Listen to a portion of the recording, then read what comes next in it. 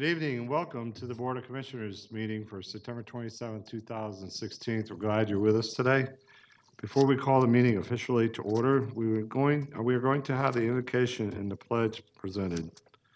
The invocation tonight will be presented by Chaplain Mike Cronin, who is the chaplain for precincts three and four, and the associate pastor for East West Church on Hurt Road in Marietta. That'll be followed by the Pledge of Allegiance. That'll be led by firefighter Clark Kelly, who has been with Cobb Fire since January of 2004. He is assigned to Station 28 C Shift. For those who wish to do so, please rise for the invocation and the pledge.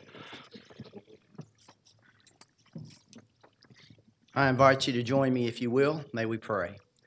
Almighty God, everlasting Father, creator of all that is, possessor of heaven and earth, Lord, we humble ourselves before you tonight and give you thanks for this opportunity, for this gathering.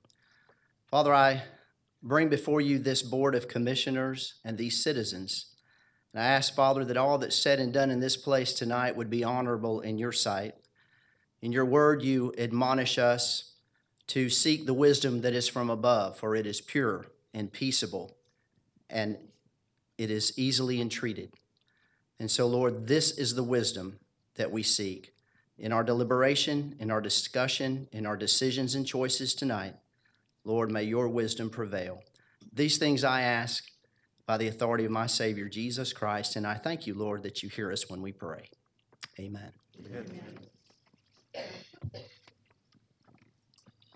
pledge allegiance to the flag of the United States of America and to the republic for which it stands, one nation, under God, indivisible, with liberty and justice for all.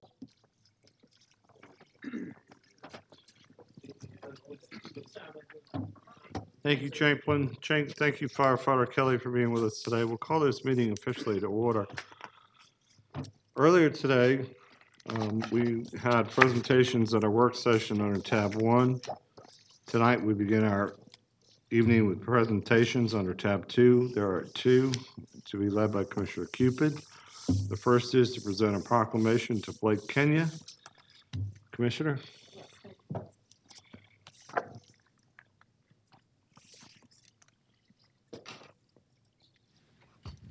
Good evening, everyone. T- Tonight, I have opportunity to recognize Scouting in South Cobb and want to start off by recognizing a significant contributor to the program, which is um, to honor Blake Kenya for his contributions to the Boy Scout program in South Cobb. Mr. Kenya, if you don't mind coming up, and you can bring your lovely family with you to also be recognized for their support of you.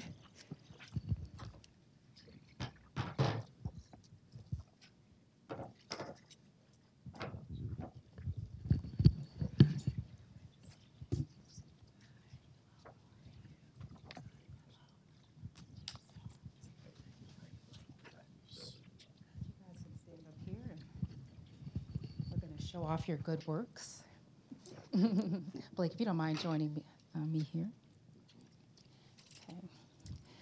I've known Blake for some time, and it's nice to see um, us have opportunity to recognize you and um, just some of your contribution to the district. I think that you've had a significant role because of the um, work that you've done with a lot of young people and knowing that that work is generational. Um, this proclamation certainly doesn't give proper recognition for all that you do, but I'm glad that we have the opportunity to recognize you tonight. And um, I think what we also have here um, some members of the Atlanta Area Council. I don't know if anybody wants to join us while we do this recognition, Mr. Tracy Techau. Thank you for joining us tonight. Okay, I'm going to read this proclamation from the Board of Commissioners. Whereas Blake Kenya has been intricately involved in the initiative to bring scouting to South Cobb, during 2015, five new Boy Scout programs were established in the area. Since then, more than 60 youth have experienced the excitement and outdoor adventures of scouting. Whereas the mission of the Boy Scouts of America is to prepare young people to make ethical and moral choices over their lifetimes by instilling in them the values of the Scout, Oath, and Law. The new programs include Austell First United Methodist Church, Gospel Nation Church, Riverside Intermediate School Elementary, and Walton Crossings Community Apartments. And whereas Kenya is also the president and principal designer of Abso Core Architectural Design, an external design company based in Atlanta, he is a graduate of Colorado State University, earning a Bachelor of Science degree in business. And whereas Mr. Kenya served our country bravely in the United States Army and served three tours overseas. He attended Airborne School and Ranger Academy and was selected by the U.S. Army Board to attend Drill Sergeant Academy, where he graduated with honors. In addition to his tireless work on behalf of the Boy Scouts of America, Mr. Kenya's other community service efforts include working with the Cobb County Development Authority and Cobb County School System. Now, therefore, we, the Cobb Board of Commissioners, do hereby thank Blake Kenya for helping to positively impact the lives of our South Cobb youth through Boy Scouting. His work to enrich our community will have lasting impacts for generations to come. Thank you, Blake. Thank you for all that you've done.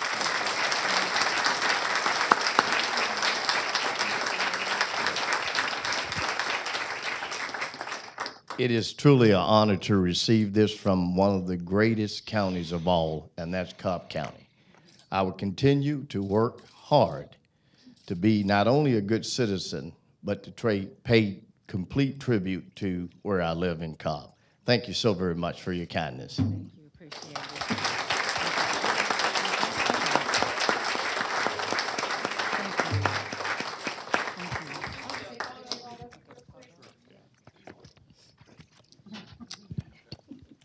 All right, on three. One, two, three. Thank you.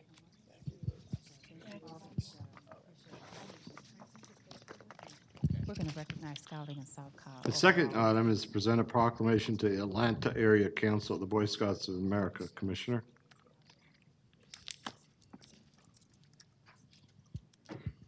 Tonight, we're honored to have the Scout Executive for the Atlanta Area Council of Boy Scouts, Mr. Tracy Techau. And I'm very glad to recognize his efforts in increasing scouting in South Cobb and also the partnership that they've had with the Cobb Chamber and businesses here. So I would like to take some time to recognize that by reading this proclamation that I'm going to present to Mr. Techau tonight. Whereas during 2015, five new Boy Scouting programs were established in South Cobb, successfully achieving a goal of the Atlanta Area Council of the Boy Scouts of America.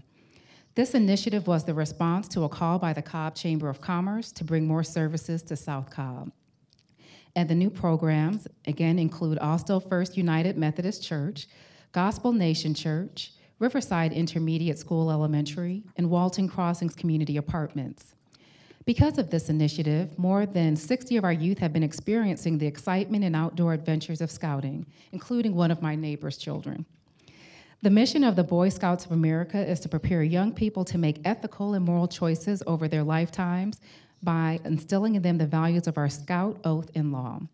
And whereas Atlanta Area Council Board member Brantley Barrow chaired the effort and led a team in securing funding for the program start and funding to carry the program into 2016. The funding ensures boys have scout uniforms and scholarships to attend camps. Youth outreach workers also interact directly with youth. And whereas the Home Depot Foundation has provided lead sponsorship for these programs, and Gas South has also been an exemplary strong supporter. Additional funding has been provided by Inglett and Stubbs Electrical Construction, United Forming, McKinney's, Palmetto Automatic Sprinkler Company, Mulkey Enterprises, and committee member gifts.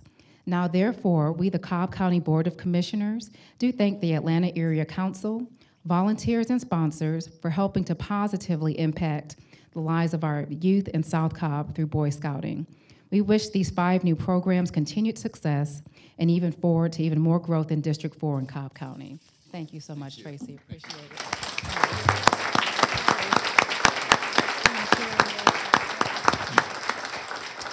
Uh, Thank you, Commissioner Cupid, and to all the commissioners for this recognition for scouting. Uh, We are thriving in Cobb County and across metropolitan Atlanta. We serve 32,000 youth through 10,000 volunteers. And we couldn't do it without the support of the community, and we're especially grateful for Commissioner Cupid's leadership as we grew more programs in South Cobb. Thank you. That, Tracy.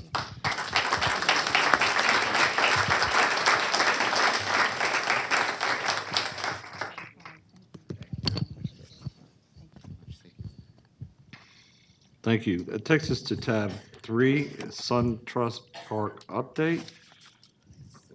Tonight's presentation will be presented by our Water Department Agency Director Steve McCullers, who is our acting county manager this week. Thank you, sir. Um, see. As you can see, we're just under $385 million completed to date. The ballpark is just under 80% complete. Uh, I'd point out that well over $200 million has been contracted with Cobb County firms, and just a hair under $100 million has been with DBEs. So we're doing very well on both of those fronts also. Currently, we're averaging a little over 1,100 workers on the ballpark site every day of the week, 500 workers on the um, ballpark site on weekends, and about 145 workers on the mixed-use sites. You can see the level of manpower that we do have on the site. This is really a big deal. Bring It Home Luncheon, to me, this is incredible. They've, they've spent over 3 million man-hours on this project with no lost time injuries to date. I've, I've done some big projects, and this, this is just incredible, the level of safety that they've been able to achieve on this project. As you can see, they had a, uh, a- luncheon for all the, uh, all the workers on the site. Uh, It's really a big deal. AB does a great job of recognizing, emphasizing safety. Um, Currently, they're on schedule. As you know, they've scheduled an exhibition game with the Yankees for March 30th. That'll be kind of a soft opening next year.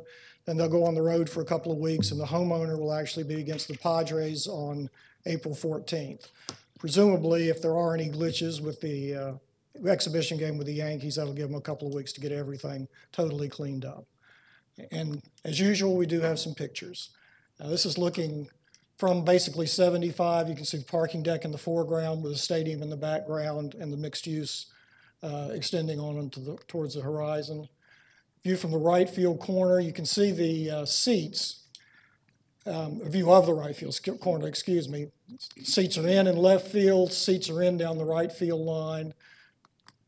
This is a view of, from center field of the home plate area. As you can see, all the cranes, everything is off the infield. That's the, the first layer of under uh, stone for the for the field that they'll eventually put down. I think they probably won't actually sod the field until next spring, which is interesting that they're waiting that long. But um, view of center field again, you can see some of the seats are in. This is uh, shooting across the center field wall.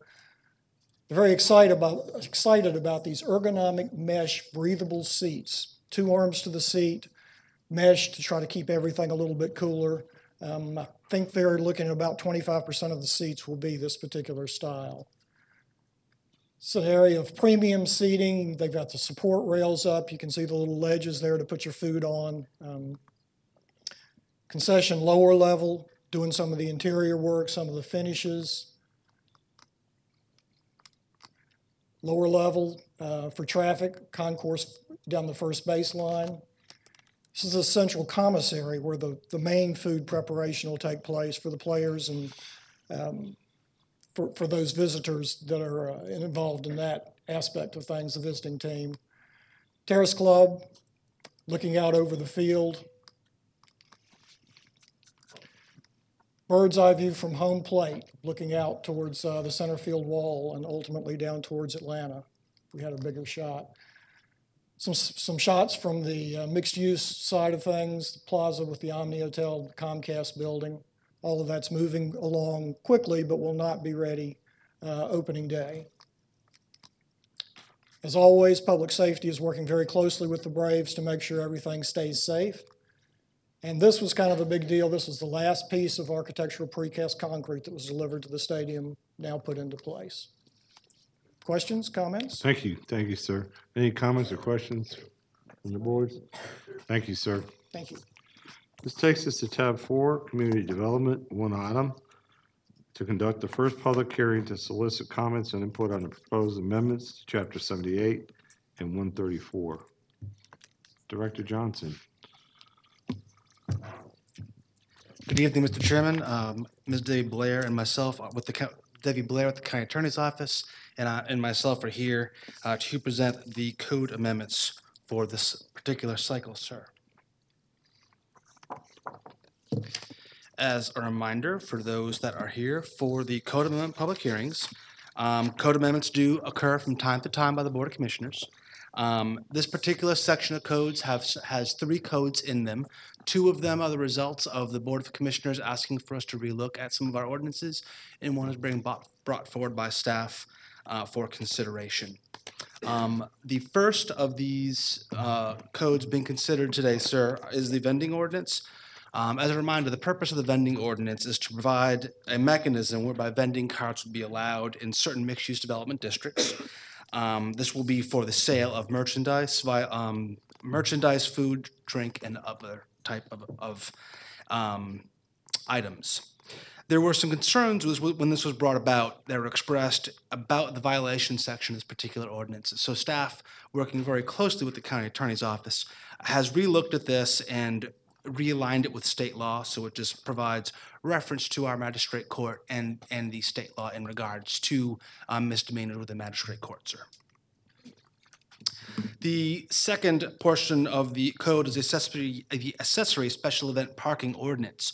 Uh, the purpose of the accessory special event parking ordinance is to address issues of traffic flow, pedestrian safety, protection of personal property, and the preservation of neighborhood integrity um, in areas where you have um, large events.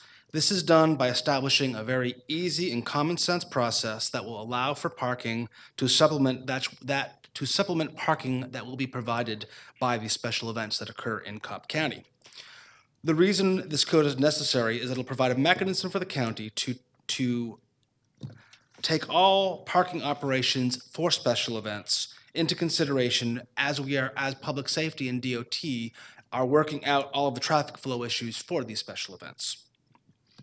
The application process in, in this particular um, draft that's been brought forward has been simplified substantially so that all prospective businesses that wish to provide parking can obtain approval through the commu- Community Development Agency without needing to have approval from the Board of Commissioners.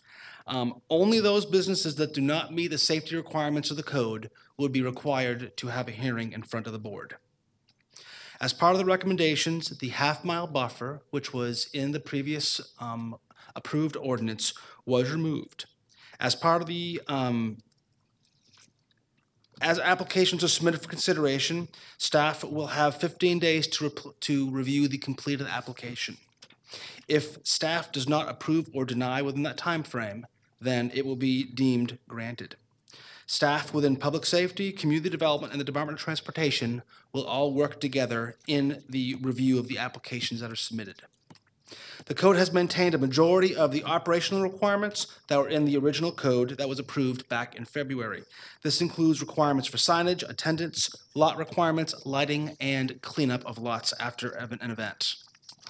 Finally, the, he- the hearing procedures, appeals, offenses, and penalties were all updated based upon the new tone that this particular ordinance has uh, brought forward, sir. The last portion of the code amendments, sir, are with our sign fees.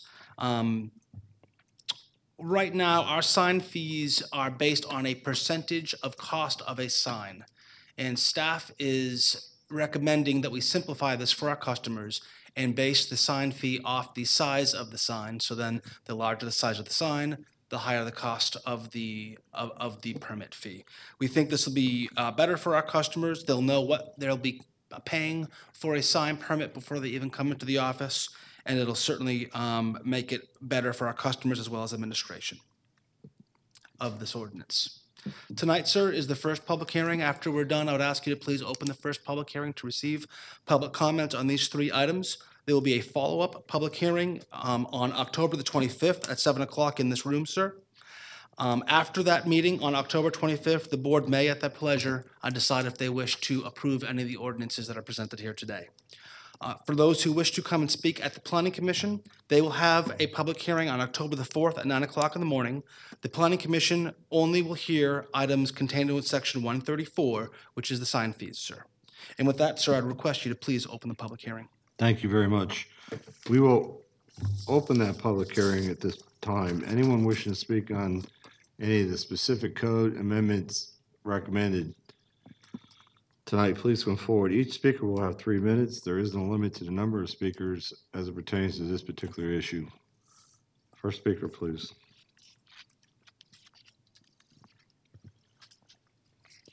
Good evening, Commissioners. Uh, My name is Ron Sifen. I'm here to speak on the Special Events Parking Ordinance.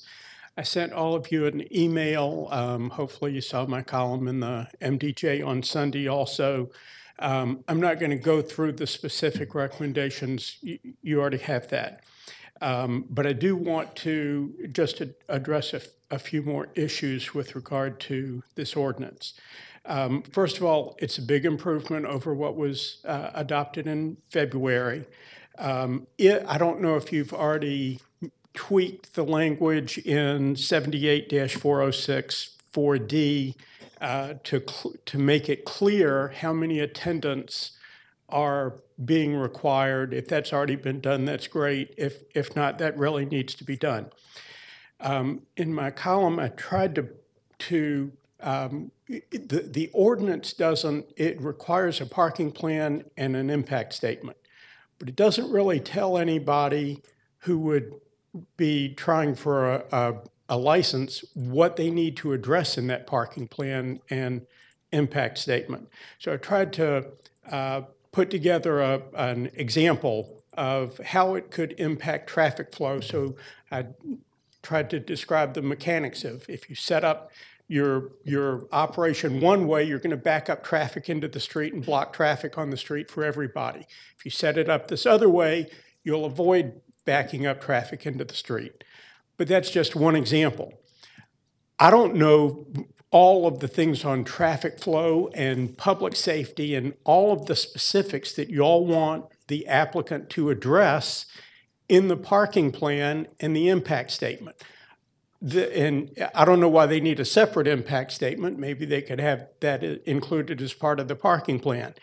But somewhere, either in the ordinance or some, something whenever somebody comes to the county and wants to, to apply for a license, they need to know what it is that their parking plan needs, what are, what are the four issues, 10 issues, whatever, that Cobb County needs for the applicant to address.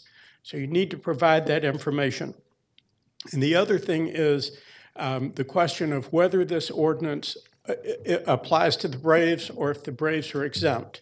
So using the same example of, of setting up your operation where you would be blocking traffic uh, onto the street, the Braves shouldn't be exempt from that, and they shouldn't be exempt from public safety. The, the questions that I'm hearing from the businesses near the stadium that they're concerned about is that Cobb County's implementing something that's, that's an excessive burden on them. And Thank you, Mr. I don't think Sifen. it should be. Thank you, But sir. you need to be sure that it isn't. Thank you. Thank you. Next speaker, please. Are there any other speakers for the code amendments being presented? I'd Like to, we'll close the public hearing at this time. At this, I'd like to remind folks that there's about four weeks in which we will take comments on the proposed changes. Um, I would recommend that the comments be submitted to individual commissioners, the commissioner, commission at large, Dana, his office. Um, we welcome that comments, and if there's any businesses out there that happen to think that we're heading in the wrong direction, I sure would like to hear from them directly.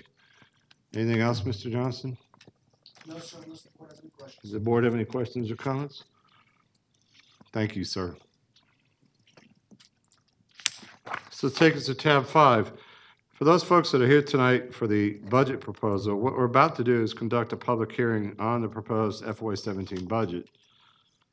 You'll note if you examine the- the agenda book for today, the tab 11 is actually the item in which we approve, present, and, and present and consider approving the budget. We are going to hear first tab five, as it relates to a, a public hearing for the proposed budget. Then we will move to tab eleven and consider that proposed budget at that time. During this public hearing, each speaker will be allowed the opportunity after the presentation, three minutes, and there's no limit to the number of folks that will eligible to speak to us. Good morning, or good evening. Good evening, sir, and Commissioners, Chairman. At this time, I want to present the FY17 proposed budget before we move into the public hearing. Thanks, sir. Okay. There we go. Um, On August 22nd, we advertised in the Mar- Marietta Daily Journal, and on September 13th, we conducted our first public hearing. At this time, we are about to open our second public hearing, and then we will be moving to ask the board for adoption a little bit, or after the conclusion of that public hearing. The FY17 budget includes 70 new full-time positions um, in community development, magistrate court, Department of Transportation, district attorney, and the library. Additionally, we have fire district fund has positions, streetlight district fund, and those are the, all the new positions we're asking to be created under this budget. And then there will also be some reclassified positions. Magistrate Court has one reclassified position, and the Fire District Fund has five. Okay. The general fund is the primary operating fund for the county. It is used to account for all financial resources for the government except for those required to be accounted for in other funds. Property taxes make up the vast majority of the revenues for this fund, and that includes, that equals fifty-seven percent of the overall revenues. Uh, one of the things I wanted to point out, if you'll notice, the FY seventeen proposed budget is three hundred and it's a nine point three percent increase over the adopted FY sixteen. Fourteen point four million of that increase is directly related to the debt service on the stadium bonds. Okay. And this is a millage rate comparison multiplier. We just like to show this. Uh, we show 2008 as kind of the benchmark prior to the recession, and then we show 2017. If you'll notice, in 2008, our millage rate was 6.82 mils, and the adopted millage rate for FY16, which we're continuing, and that is the operating millage rate for the general fund, is 6.66 mils. And one of the things I want to call to your attention is 2017. You'll notice the growth in the net digest being 5.49%. It is a little bit higher than we had in 2016, and the reason for that is 2017 we'll have a commercial reval year, and we do that every three years. Okay. And then also we want to show a millage rate comparison for the metro area, and this is their 2016 millage rates that were adopted. DeKalb County is at 20.81 mills, and this is countywide. Gwinnett County, 13.176 mills, Fulton County, 10.8. And Cobb County, 9.85. So we are continued to be the lowest millage rate within the metro area. Okay, additionally, this is the general fund revenues. And as I mentioned before, property tax is the vast majority of this. Most of these have significant increases over prior year. I do want to point out, though, that penalties and interest has a decrease of 25.5%. This is a good thing. Um, What this means is the county is collecting t- property taxes on time, and we're not having to charge citizens for late payment or penalties and interest on late payments for property taxes. Um, And additionally, I want to call your attention to fines and forfeitures. It's down 9.3%. This has been a continuing trend nationwide as we've looked at uh, traffic citations as a whole being down. But as I stated, the overall increase for the general fund is 9.3%. The next slide is the general fund expenditures, and we've broken this down into several categories. Personnel services. Um, I mentioned earlier that this, this uh, fund and the county as a whole, we've added 70 positions, not all of which are general fund. But the personnel numbers that you see here, which is $260,628,995 as proposed for FY17, that does not include any of those new positions. Those positions are being accounted for in the contingency account and will be moved to personnel as they are filled or as they are needed. So we did not inflate that personnel number by the new positions. And the, the reason for this increase is due to healthcare costs, pension increases, and the merit that was approved for FY16. Okay, the, uh, the major, the major change, or major thing I want to point out here is that the operating budgets are essentially flat, less than point, or 0.1% increase over prior years. We've made a, uh, a few small improvements, but for the most part, those are basically flat.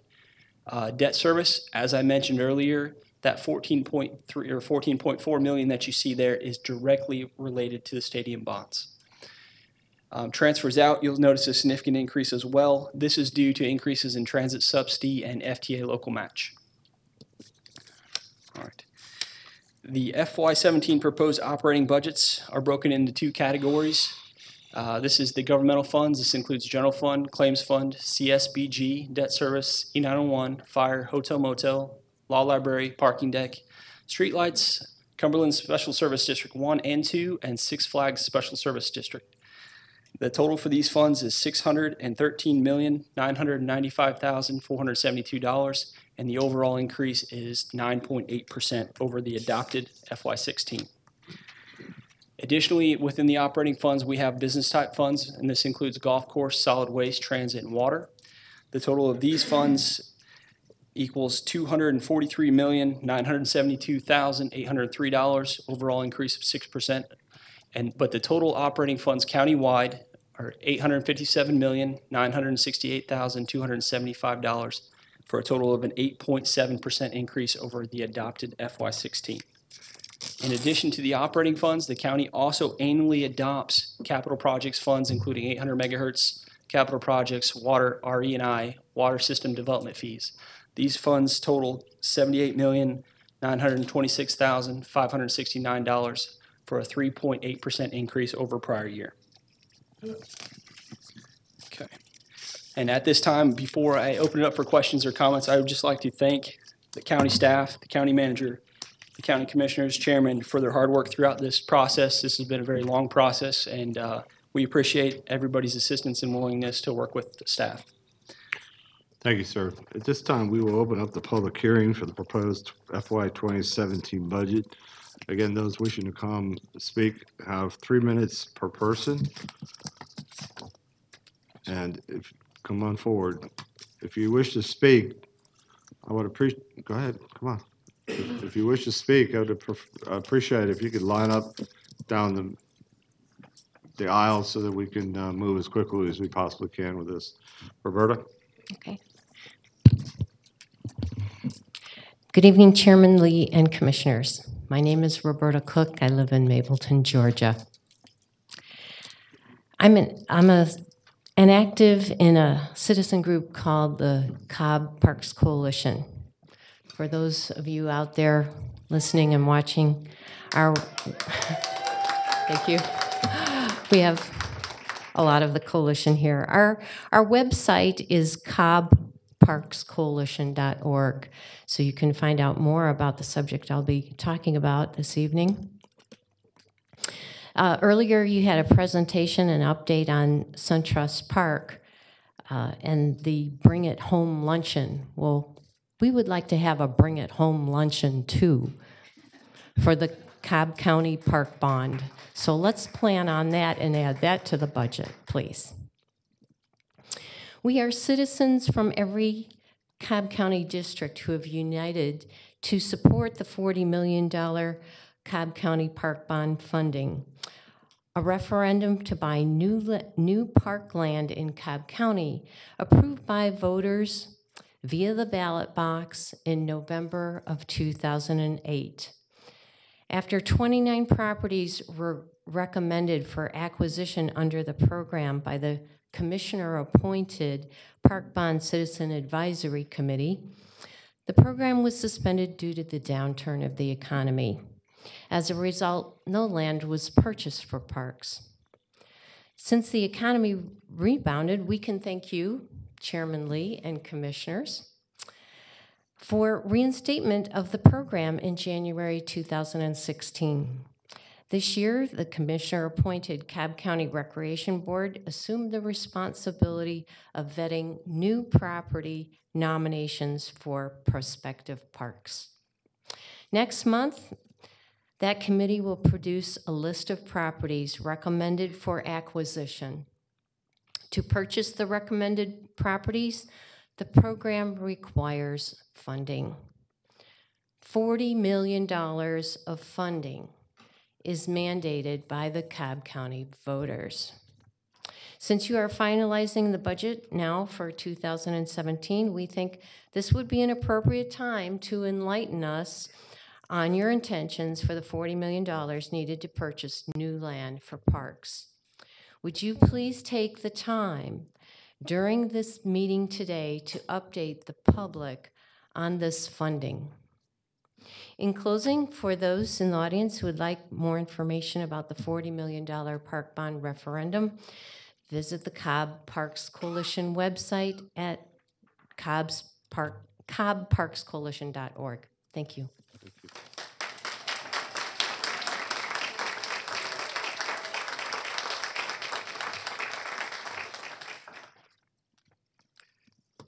Good evening, Mr. Chairman, members of the, excuse me, members of the board. My name is Ben Williams. I'm president of the Cobb County chapter of the Southern Christian Leadership Conference.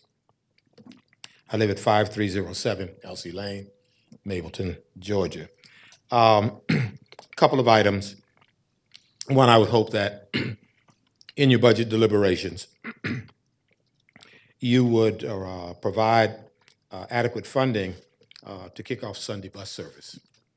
Um, Number of our folk still are challenged in terms of being able to have additional routes in order to move uh, uh, from uh, one place in the county that is deep south to other places. Case in, case in point, a resident who's interested in taking advantage of early voting up at Whitlock uh, talks about over three hours uh, from where she lives in, in, in South Cobb in order to get there and, and come back, okay? Um, I know that Sunday bus service is scheduled someplace else, but I use that example to show how challenging it is uh, for many residents South Cobb uh, to get to, uh, uh, to places within the county. Um, the uh, um, flex bus, bus uh, schedule is still um, on a trial ba- basis. Um, we would like for you to really stay with that commitment and uh, keep that in motion, uh, as well as uh, making sure that there is adequate equipment, uh, lighting and benches, uh, as we uh, expand or try to improve existing uh, bus service. Over the last uh, year or so, there's been a noticeable change in the aesthetics of the right-of-way in South Cobb. As I move throughout the county, um, I'm pleased to see uh, that uh, in many places where there are right-of-ways, uh, there is, appears to be some investment equity to make sure that those right-of-ways in South Cobb begin to at least move in a direction that they are parallel to other places in other parts of the county. Um, I would join uh, our, our green people uh, with the uh, support for the park uh, bond issue, an item, uh, an item that is overdue and I think folk are voted on and are, expecting to have happen. Final thing is Mable House. Mable House has been struggling to stay alive with, I think, one full-time staff person. Would really like for you to consider reinvesting uh, public monies in helping to sustain uh, the Mable House. Mable House Thank not you only for your serves South comments. Cobb, but also, you know, all of Cobb and Thank folk you, sir. outside. Okay? I want to remind the other folks that are here today that there's a timer to your left up there, so when you come up to speak, if you keep an eye on that, I appreciate it. Next speaker, please.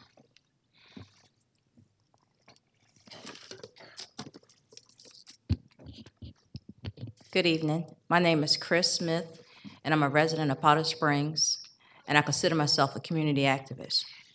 And why is that? Because my community simply means a lot to me. And the changes that go on, whether they're good or bad, and also the citizens that live in and around my community. I sent all of the Board of Commissioners an email a few days ago, and I don't know if you received it, but I'd like to take time to just read it. I am requesting that the Board of Commissioners add additional staff to recreation centers and libraries. If you can't hire full-time staff, please consider hiring part-time staff, especially in areas with at-risk youth, such as the Ron Anderson Community Center and the South Cobb Rec Center and Fair Oaks. It's not enough to say that we care about the youth when we don't provide them a safe place in our community and get them off the streets by providing extended hours, particularly on Fridays and Saturdays. Oftentimes, citizens talk about youth trolling the neighborhoods with no place to go. The malls in the area don't want the youth to hang out with valid reasons. Citizens don't want them trolling the neighborhoods or just hanging out. It has been proven in other states, such as Baltimore, that providing a safe place, for youth to play basketball and other sports activities provide an alternative to unconstructive uh, behavior um, in the community, particularly on Friday and Saturday nights. If the recs could be extended to maybe 11, if you guys consider that. Volunteers can help bridge the gap with county staff. However, extended hours and addi- additional staff would be a step in the right direction. In addition, your staff is doing the best they can with what they have.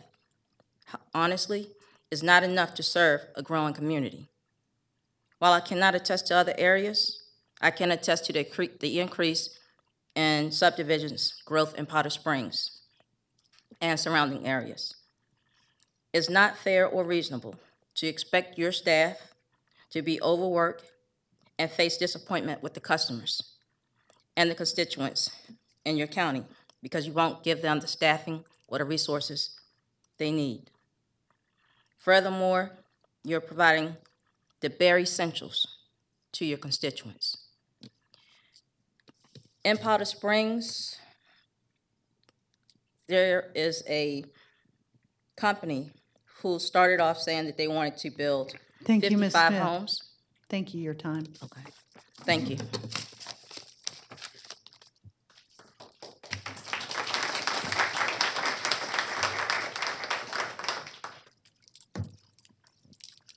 Good evening, uh, Chair, Board of Commissioners, uh, citizens, and um, my name is Guinevere Reed. I am the Chair of Mableton Austell Powder Community Coalition. We hereby petition the Cobb County Board of Commissioners and the Cobb County Parks and Recreation Department to provide funds for the following items.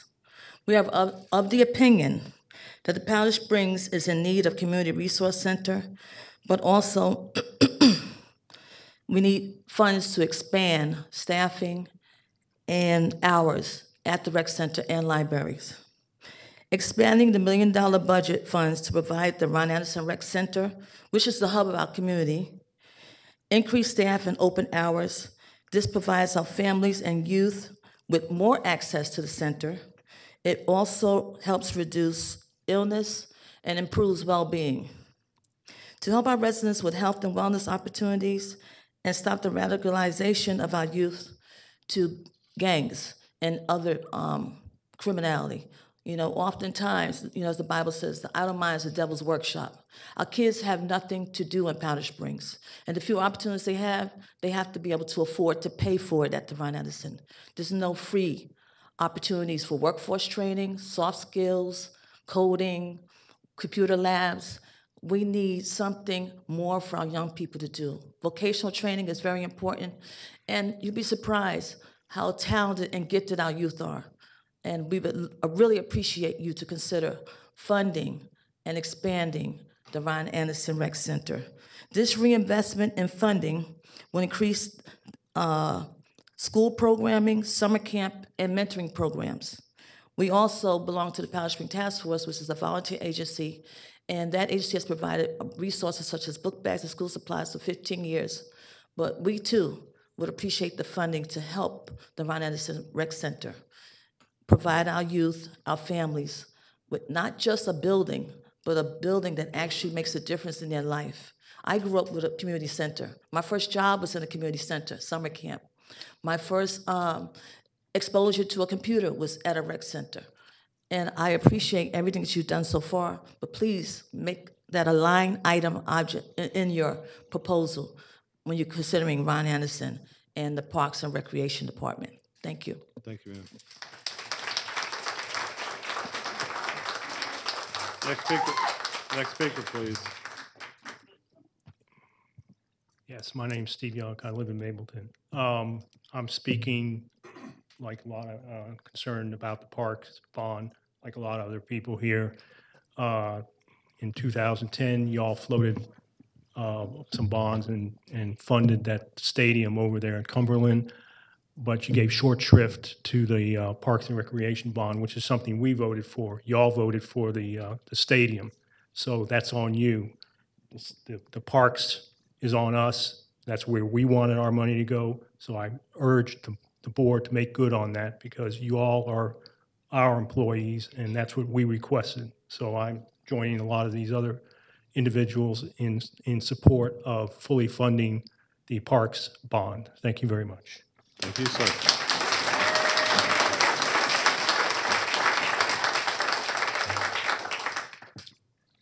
Thank you for the opportunity, Commissioners.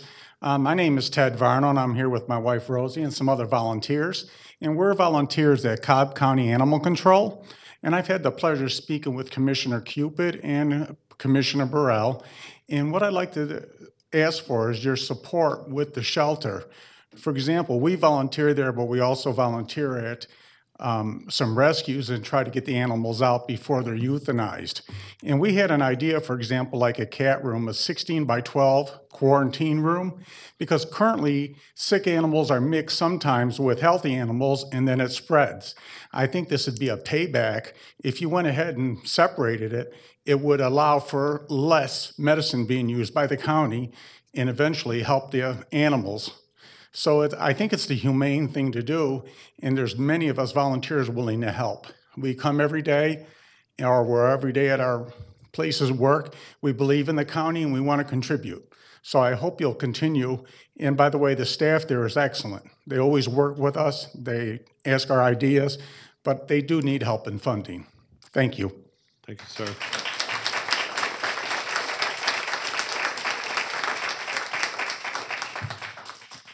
Good evening, Mr. Chairman, Commissioners, and members of the community. My name is Karen Carter, and I'm the Executive Director of Cobb Collaborative, and I'm here tonight on behalf of the nonprofit organizations that our organization serves here in Cobb. For 18 years, the Cobb County Board of Commissioners has outsourced the facilitation of the Cobb County nonprofit grant to the Cobb Collaborative, providing over $19 million for our neighbors and friends in their time of need. Data collected from the 23 organizations currently receiving that funding shows that for FY 215, 10,390 unduplicated Cobb County citizens were served, over 50% of them receiving basic needs such as food, clothing, shelter, health care, and remaining stably housed. Under Education Employment Services, 3,386 people were served. Public safety, legal, crime prevention equaled 1,392 Cobb County citizens. Funding for this grant has been fixed at $963,695 since it was reduced in 2012 from $1.2 million at the highest prior to 2010. This proposed budget reduces the funding an additional 113,000 or 11.73% or the most biggest statistic, 1,219 fewer of our Cobb County neighbors receiving needed resources. As our county continues to grow and thrive, the need for resources will continue to grow exponentially. Please consider not only returning the funding for the Cobb County nonprofit grant to its 963,695 level, but increasing it to the previous 2010 level of 1.2 million so that we can better support our Cobb County residents through the nonprofit work being done. As you consider our request, I would like to close by reading a short poem by Dr. Donna Beegle, someone who broke the cycle of generational poverty. I find myself more late with every crisis, more angry with every injustice, more greedy with every deprivation, more rude with every judgment, more disorganized with every eviction, more negative with every untreated illness, more unstable with every insecurity. I find myself more civil with every bite, more respectful with every kindness, more hopeful with every chance, more grateful with every opportunity, more ready to learn when I am safe, and more ready and more motivated when there is hope, more happy when I am valued. I find myself like the 37 million people in poverty responding in very human ways to my environment.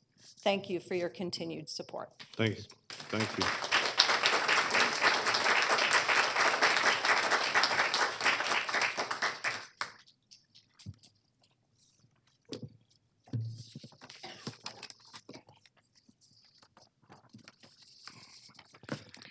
Hi, I'm Jennifer Burke, and um, from East Cobb, and I'm a member of the Cobb Parks Coalition. I'm going to cover a timeline of the Cobb Parks Coalition and the Park Bond 2008 to today's 2017 budget and explain why funding this park bond is so critical now. In November 2008, voters overwhelmingly approved the Park Bond 2008 referendum, and the repayment was planned with 0.1 mils of the debt service fund equal to about $8 a year for the average homeowner. Here is a history of the debt service fund. In 2009, the board decided to postpone Park Bond 2009 due to the economy. For years, Park Bond supporters have asked the board to fund the Park Bond as communities lost their chosen parkland to development. In these cases, justice delayed is justice denied. In 2013, the board announced the Braves Stadium would be built in Cobb County. And in 2014, we read on the Cobb County website that the Braves Stadium is funded by shifting tax money from repaid park bonds to the debt service fund. The problem? Park Bond 2008 was never funded. Once we discovered the millage shift plan, concerned citizens asked the board to issue the $40 million park bond before shifting the exact tax money into the Braves Stadium bond. In 2015, the Cobb Parks Coalition resurrected and met with each commissioner to explain the importance of funding the Park Bond 2008 before the shift to avoid a misuse of funds. In November 2015, we learned the Brave Stadium only needed 0.23 of the total 0.33 in the debt service fund, which was great news because that would leave 0.1 available for funding Park Bond 2008, the exact amount needed. Then in January, we were happy to learn the board restarted the Park Bond program. Even though the county had a list of 29 properties selected for Park Bond 2008, and some of them were still available, the board decided to make a new list scheduled to be announced on October 25th, 2016. But then in July 2016, we learned the board would lower the debt service fund by 0.1, again, the exact amount needed to fund Park Bond 2008. Today, in the 2017 budget, the board officially moves the 0.23 originally planned for Park Bond repayment into the Braves Stadium bond. A key point here is that the board could have paid for Thank both for the your $40 million comments. park bond and the $400 million Brave Stadium. Ma'am, your time has If the board hadn't lowered the debt service fund. Thank you. Thank you, ma'am.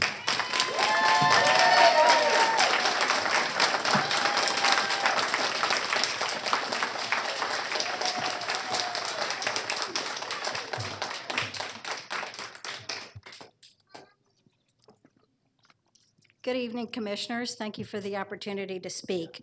My name is Nancy Geisler. I serve as the president of the Vinings Village Homeowners Association and the interim president of the Vinings Conserva- uh, Community Conservation Alliance. I'm a member of the Vinings Historic Preservation Board and the Civic Club. And I bring these forward because it means I spend a lot of time talking with voters and residents in the community. And after hearing what Jennifer Burke just presented, uh, as my, my constituencies have heard, they cannot understand why their county commission continues to ignore a voter referendum, the 2008 park bond, that passed with two-thirds of voters uh, supporting it. They understood that in the weak economy, economy, it wasn't possible to fund it, but when it became possible to spend hundreds of millions of dollars to support a private entity, the, the Braves, it became possible to fund the park bond. And they're very disappointed, some even outraged, that there is no funding for parks in the 2017 Cobb County budget. And it goes further. Last spring, the county directed the community to nominate properties that might be a good opportunity. Uh, Several hundred were nominated. The, uh, the rec board vetted the nominations and is in the process of preparing a list that will be presented in October. And all that work by all those faithful volunteers and the tax dollars they spent doing it. And what's going to happen in 2017? Nothing. Nothing again, because the 2017 budget for parks is zero at this point. Most people now view it that that nominating and vetting process was disingenuous if no funding is going to be made available in the 2017 budget. In voters' eyes, their Cobb County Commission has ignored their vote and their wishes. It's a serious breach of trust at a time when organizations like the one in which I, ones in which I participate are working well with the county. It makes my job as a community leader a lot harder. It pains me to say this because I know there are some of you who are in favor of funding the park bond and want to use it to offset the beautiful forest that was cut down to serve the need of needs of the Braves. So I acknowledge that it is hard, really, really hard, in, uh, in amid all the commitments that you have to the Braves to find money to support the park, to fund the park bond. But it was hard for all of the people in green out here and, and with green signs out here to repeatedly show up and testify to this commission. So they did the hard thing, and I'm asking you to to do the hard thing and fund the park bond. Thank you very much.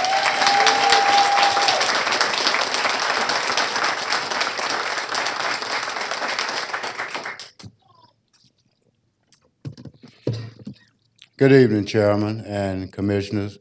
I'm Kenneth Howell with the Georgia Community Coalition. Nice to see you guys this evening. I wanted to speak to the uh, 1.1% increase in the transit funding. Uh, With the projects that are being, uh, have been looked at, we're looking at, uh, we talked with Faye DiMassimo uh, before she left on several occasions on the new transit center at South Cobb that would service the Route 20, the new Route 25, the 30, and the Flex bus system. We also talked about reopening the kiosk at Cumberland. Once the Brave Stadium is open, we have eight buses in there at one time, and that's not including the circulars. We, we need to refurbish that Cumberland Transfer Center. Otherwise, we're going to run out of room up there, and we're not going to be able to service the way that we're doing now. The uh, circular service at, at, at Cumberland is uh, going to take up a lot of space. You're talking about five buses running, and we we just don't have the room up there. W- w- You know, the police are going to have enough trouble helping us get in and out. We really need to move that transfer center. Uh, the Sunday bus service with a 1.1% increase sounds a little impossible to do. I don't know what the plans are, but 1.1 just does not seem like a figure that's going to be able to make that possible. We also need to complete the branding of the Cobb County bus system. We have branded, some of the buses came in already done. Some of them need to be refurbished, but we have the express bus service that needs to be branded as well. to, you know, we're gonna do a job, do it right. We, if people are gonna come in the Cobb and see all this stuff that we've done, let's look good. Let's not look like we have done a job. The uh, expansion of zones two and three for the flex system, we, I've asked for it last night at the, uh, at the Transit Advisory Board. I don't know if they, if they're gonna give it to us, but if we don't increase the flex bus service in that area, then it, it's almost set up for failure. Zone one is doing good. We need this increase in zones two and three. Uh, pretty much that's all I have this evening, uh, commissioners. However, I want you to, to take under consideration that one point one percent. I mean, even the hotel tax that is gonna ser, uh, pay for the circulars. Thank you, Mr. we- Howard. That's your time. All right, thank you. Thank you.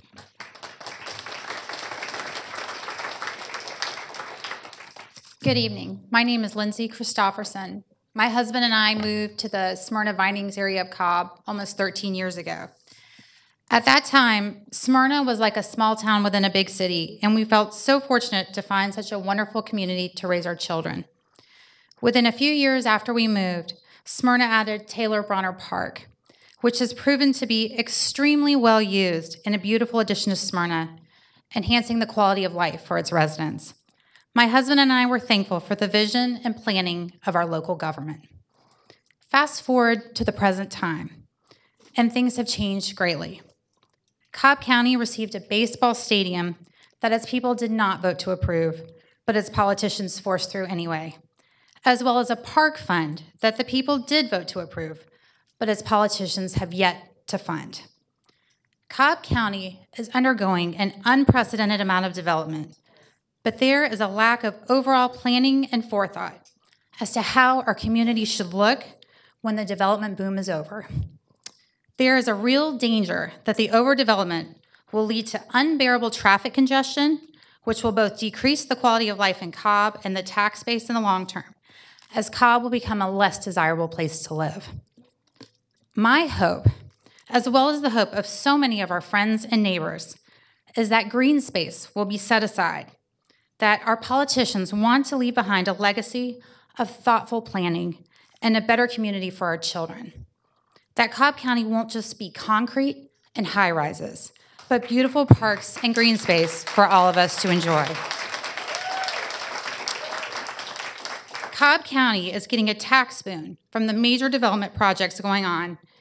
It's time to give something back to the people who have chosen to make this their home and desperately want to hold on to the quality of life that we moved here to have. Please vote for the Park Fund to make this a reality. Thank you.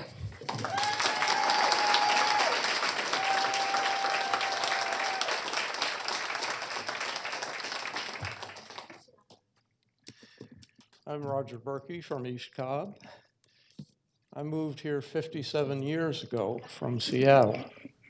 And when I came to town, 75 had just almost been completed. I passed, I was going to Lockheed, but I passed Marietta, and I'm proceeding farther and farther, and there's nothing but trees. As you know, all that area inside 285, almost down to central Atlanta, when the freeway was first constructed, was nothing but trees. Well, as we all know, it doesn't look that way anymore. And we've been blessed here. When I arrived, I discovered the Chattahoochee, started the campaign to work towards a park on the Chattahoochee.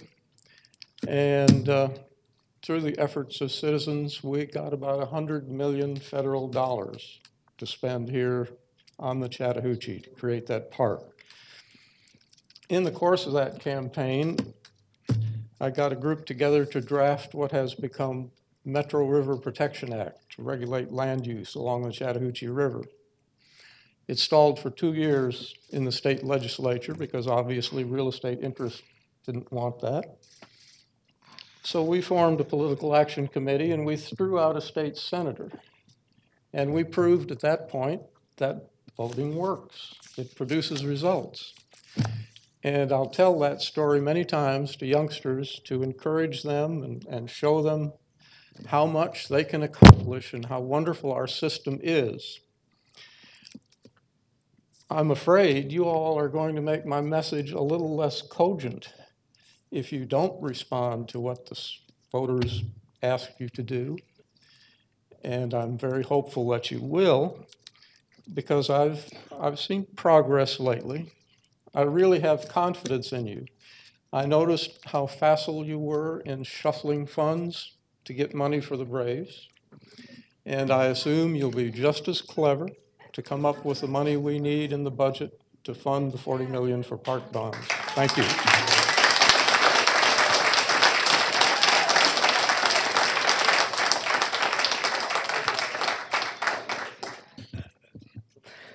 Good evening, Commissioners. My name is Cynthia Patterson, and I live in District 2.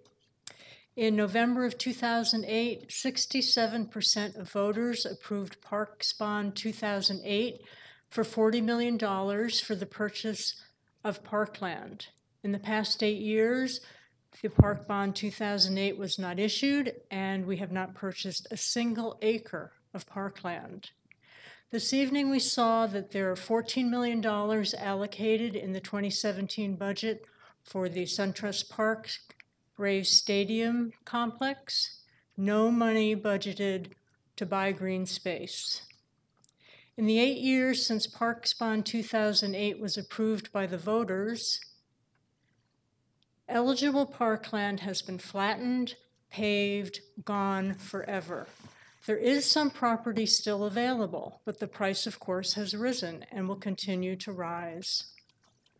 Mark Twain said, buy land. They're not making it anymore. Thank you.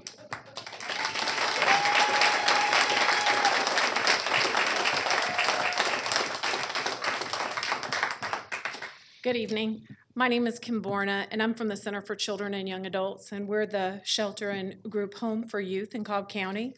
We have 40 beds, and we've been full for two and a half years, and we do turn kids away. We are now not just housing kids, but we're raising kids. Um, we are a part of the Cobb Collaborative nonprofit grants. To cut our grant 11.75%, our award would be $14,000. But what we are very proud of is we, for the past four years, have taken the money that we get from Cobb Collaborative and we have matched it dollar for dollar in fundraising in the community. And over 50% of that money we raise outside of Cobb and bring money into Cobb from the city of Atlanta and foundations. So we would be effectively cut $28,000 if there was a cut across the board for the nonprofits. Um, I want to say that our kids love to go to the parks, so we love the parks. Uh, we have four rescue dogs from the animal shelter, so we throw our support to them tonight. Um, we have, last year we had 15 kids who were at the center for over a year. We had five kids who were at the center for over two years living. We had, as of April, 10 kids who celebrated a one year anniversary, and since April, we've had eight kids celebrate a one year anniversary. So we're raising kids, they're with us for one, two, and three years. I have a boy who is one of five seniors who will be with us three years in December. He is a part of the Leading Next Generation program, um, in Cobb. He is hoping to go to the University of North Georgia, and he is going to be graduating in the spring. He rides the bus down Austell Road and works at Chick fil A four nights a week till 11 o'clock and has three A's and a B. So we are raising kids, we are proud of our kids, and we are proud of our youth shelter in Cobb County. So please, please, please, when you're looking at that Cobb Collaborative grant, remember all the 23 agencies as well as our agency. Thank you.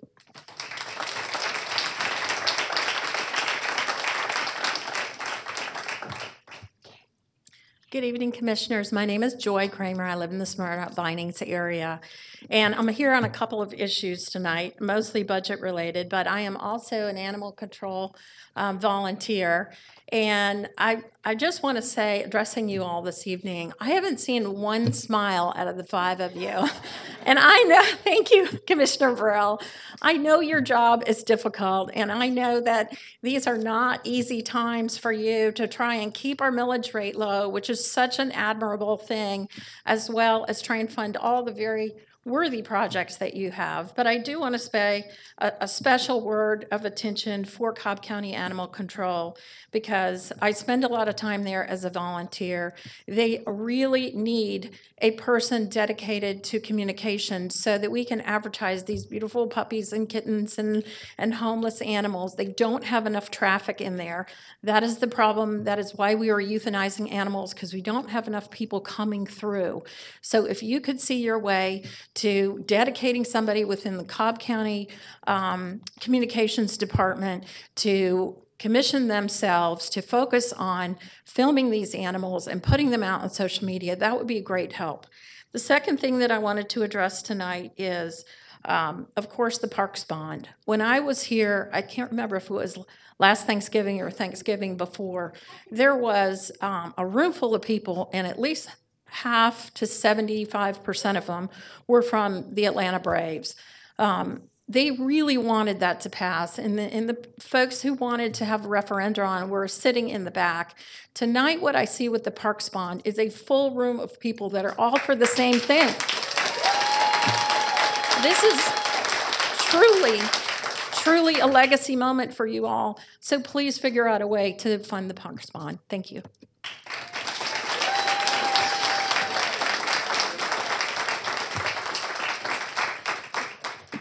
Good evening, Commissioners. Thank you for the opportunity to speak. My name is George O'Donnell, and I'm a resident of East Cobb, and I'm on the board of Yells. And I want to support the request of Karen Carter to restore funding for the nonprofit grants. These, these grants are, are leveraged through private co- uh, contributions, corporate contributions, and it's the best investment that Cobb County can make in its citizens and reaching the disadvantaged youth of our community and, and helping support them. And it's, it's just a great investment opportunity for this community, and it's leveraged many times over with the contributions and the volunteer efforts of volunteers throughout the community. Thank you. Thank you, sir.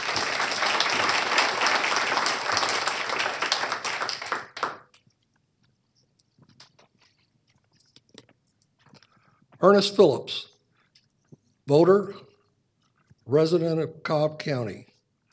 You need to listen to the people that are here talking to you tonight. I'm talking to one member of the board.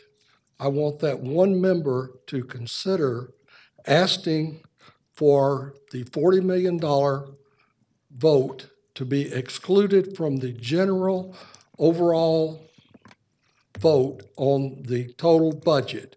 I know that you can do that. If you will do that and hold a separate vote on that $40 million so that we, the public, can know how you're voting on one issue. That's what needs to be done tonight. And I, you've already heard all the magic words that your public has told you. Parks are the ultimate showcase for what we as tax, taxpayers pay and we can use and enjoy in our activities. That's what we see. A nice big park for, for ball, love it, want it. But at the same time, we have to have places where families can go to enjoy just an outing. And it doesn't cost a lot of money. They just take the kids out, they run through the park, they play. That's what we need in this community.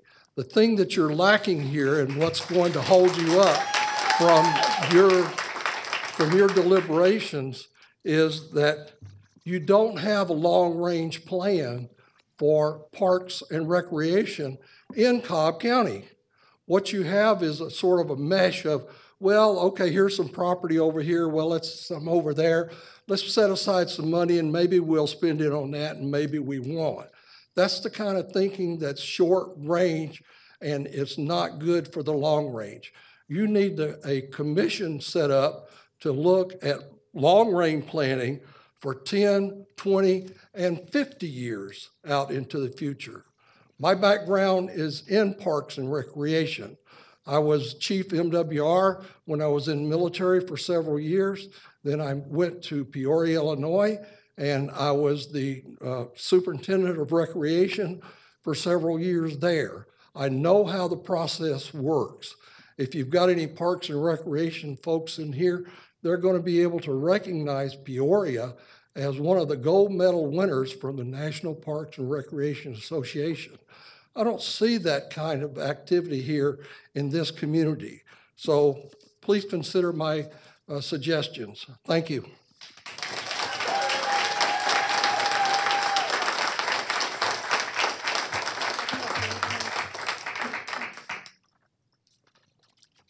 Commissioners. It's, um, I'm Mary Kirkendall, and I just moved back to Cobb County about a year ago, and one of um, the neighborhood parks, I was shocked to see the condition it's in, and I've tried to communicate with my um, commissioner. This is our Rhyne Park. Um, This is the shape I found it in, and this is our beautiful sign, the entryway. Um, This is the guide to the softball fields. And this is the parking lot. So every parking lot I've got a picture of are, are going to be separate parking lots. So I want you to see all this asphalt. Um, Actually, that's our new paper sign to the tennis courts. This is just some of the scenery. Uh, Another parking lot, parking lot, beautiful pavilions, beautiful landscaping, more parking lots, parking lots, parking lots and poles, another parking lot. And there's our new sign, the beautiful yellow and green sign that I dare you to put one of those over in the Cumberland Community District. But um, anyway, so you guys just funded $224,000 to do a comprehensive parks plan that, um, what I read was, is the first one in Cobb County in 15 years. Don't know what's been happening for 15 years, but before you, I, I don't know what that's going to include, but I would urge you to do, to take a look at your parks and let's do some new site plans on these parks. But um, apparently, you just funded repaving all these parking lots.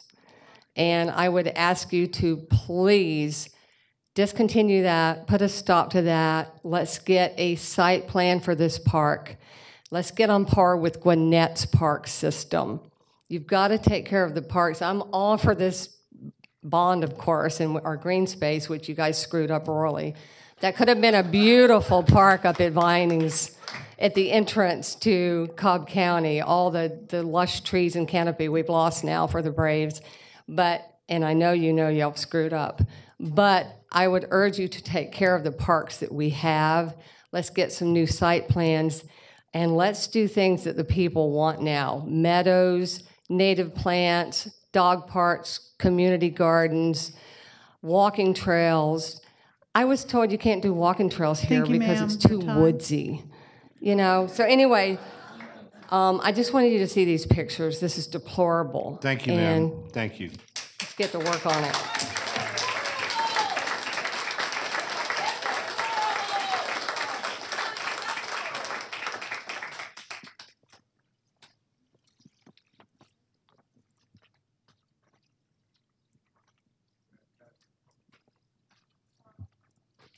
Good evening, Commissioners.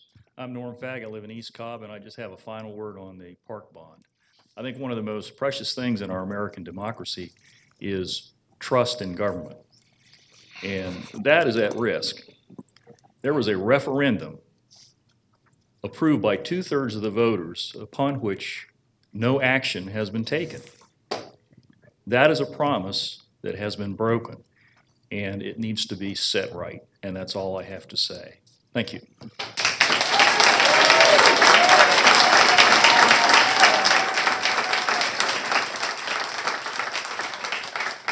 Are there any other speakers that would like to come speak on the budget? Seeing and hearing none, the public hearing is closed on the proposed FY 2017 budget. Commissioners, as we discussed earlier, public hearing was held under tab five. Consideration for the budget is under tab 11, and we're going to move tab 11 up to this point uh, for consideration.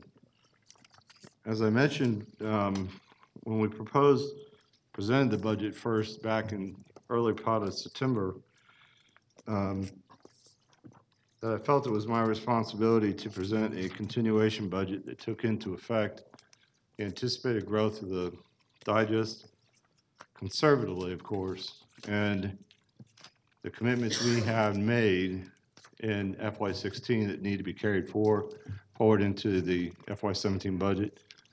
And of course, take into consideration the increase in costs associated with healthcare, our pension issues, and the merit provided in the, part, as part of FY sixteen that carries forward in FY seventeen.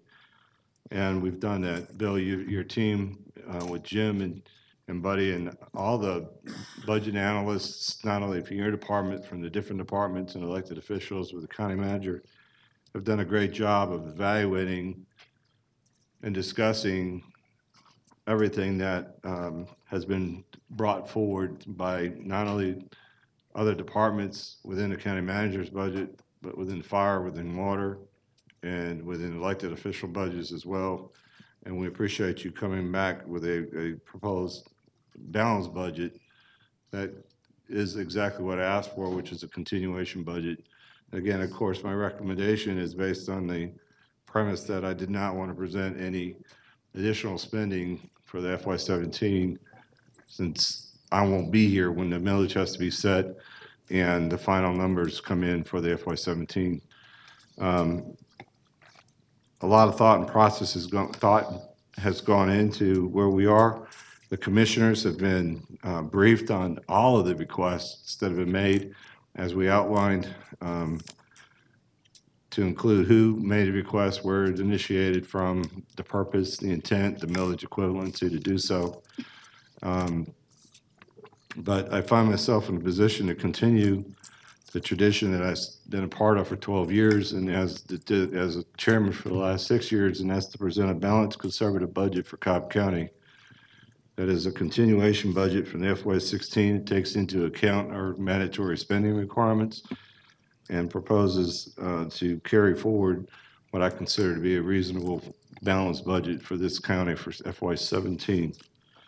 With that, I'd like to make a recommendation, the Board of Commissioners adopt the FY seventeen seven budget as presented and authorize the chairman to execute the necessary documents. Is there a second for discussion? A second for discussion by Commissioner, Commissioner Ott. Any comments from the board at this time? Commissioner Ott? Thank you, Mr. Chairman. And um, first off, I want to commend you uh, for bringing forward a continuation budget. Um, I know it was a difficult task, um, and I think that it was the right thing to do in light of the changes that are coming. And so, like I said, I want to commend you on bringing it forward that way. Um, I also want to thank all the finance staff and um, the department heads who worked on bringing this budget forward. Um, I know, I know that at times that the board has made it difficult with some of the things that we've approved or moved forward.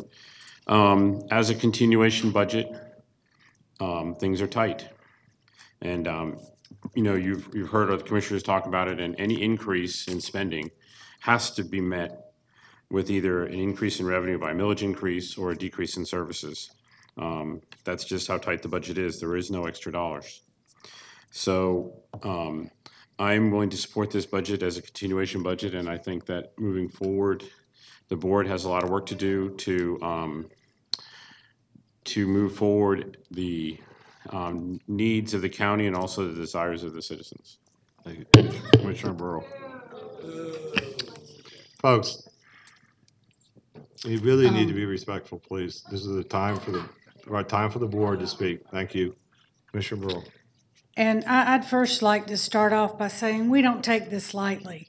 We've heard numerous requests from departments, from other constitutional elected officials. Um, amongst ourselves, we've looked at everything from top to finish. We've had meeting after meeting with Bill and Jim and the finance team, the county manager, and all of staff, um, and with each other.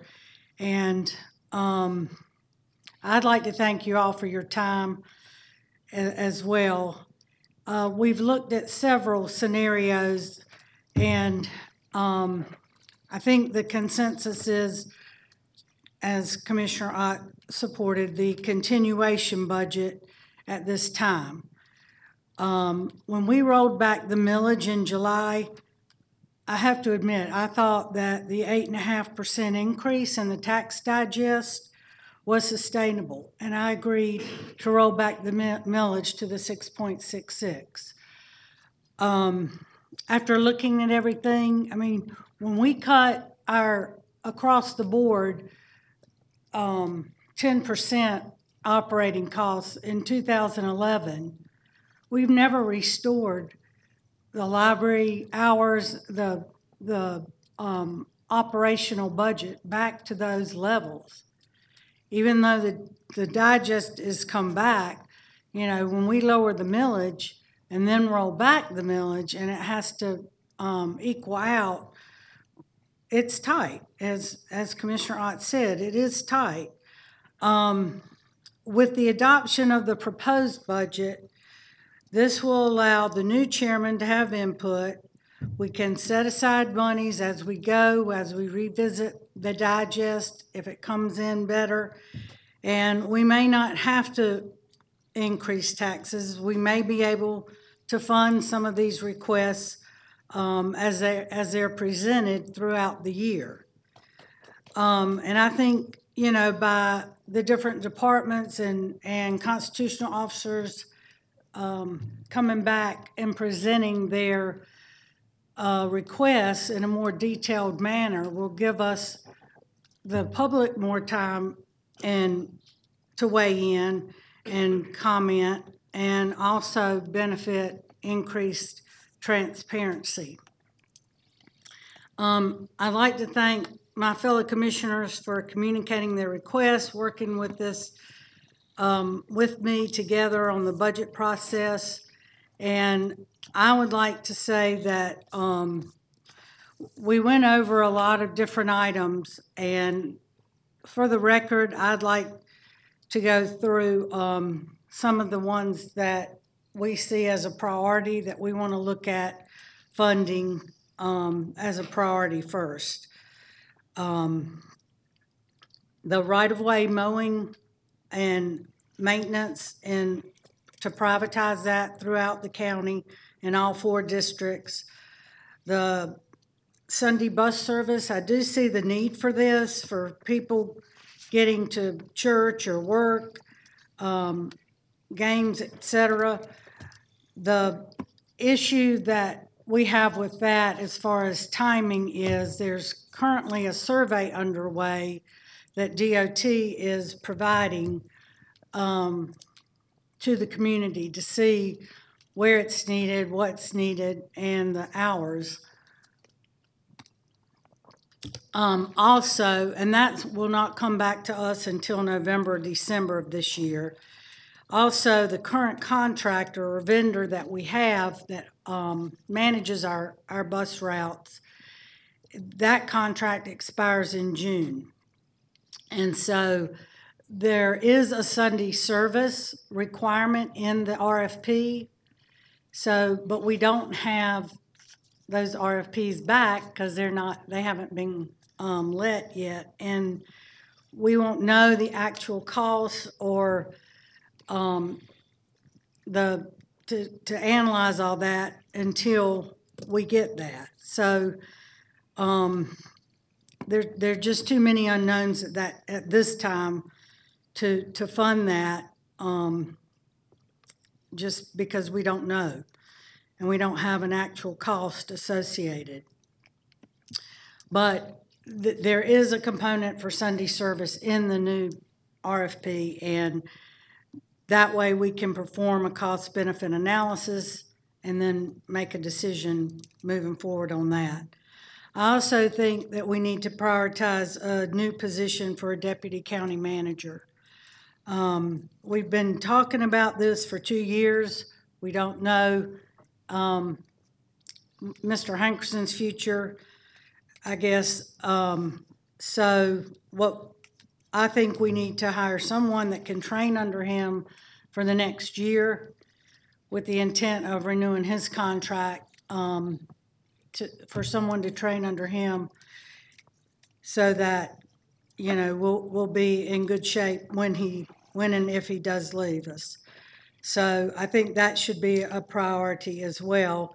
And then the police body cameras for the remaining officers was another priority. So I just want to go on the record for that.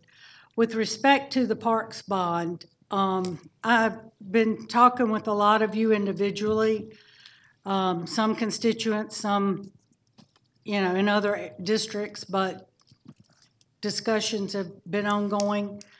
I'm very happy to see that after eight years, which is a long time and a lot of patience, that this has come back. We do have a recommendation coming forward in October with a recommended list. Um, and I know that there's been some emails back and forth, and I hope that um, your questions as far as the legality of the bonds being issued at the full 40 million have been answered.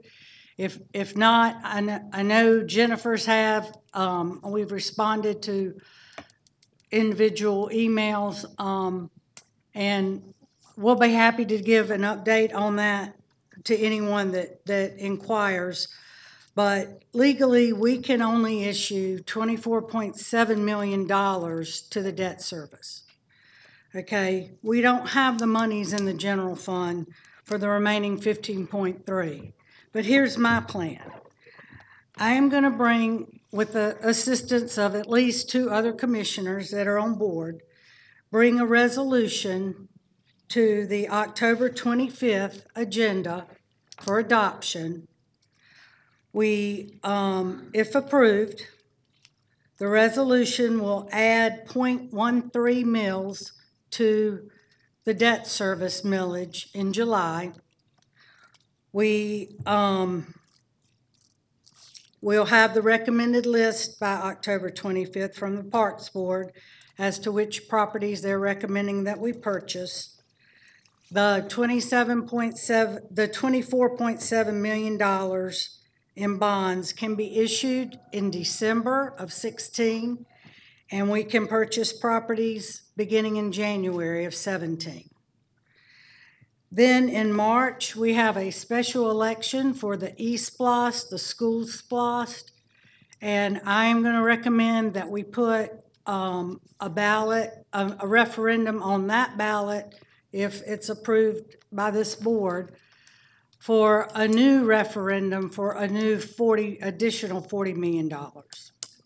And I know it's not what everybody wanted as far as the full 40 million now, but if we can purchase parkland at $24.7 million in 17, 2017, and issue a new bond for 40 million, that will give us $64.7 million total in the next two years. And that's my plan. Thank you. Mr. Weatherford. Thank you, sir. Uh, As someone said earlier, it's, uh, we haven't been smiling a lot, a lot up here. Uh, This has been one of the uh, hardest things that I've gone through in my uh, 12, 14 years plus in public service. And I want you to know that we have not taken any of this lightly, that we've worked diligently. Each one of these commissioners up here have spent hours, countless hours, trying to figure out what the best way is to go forward with this budget.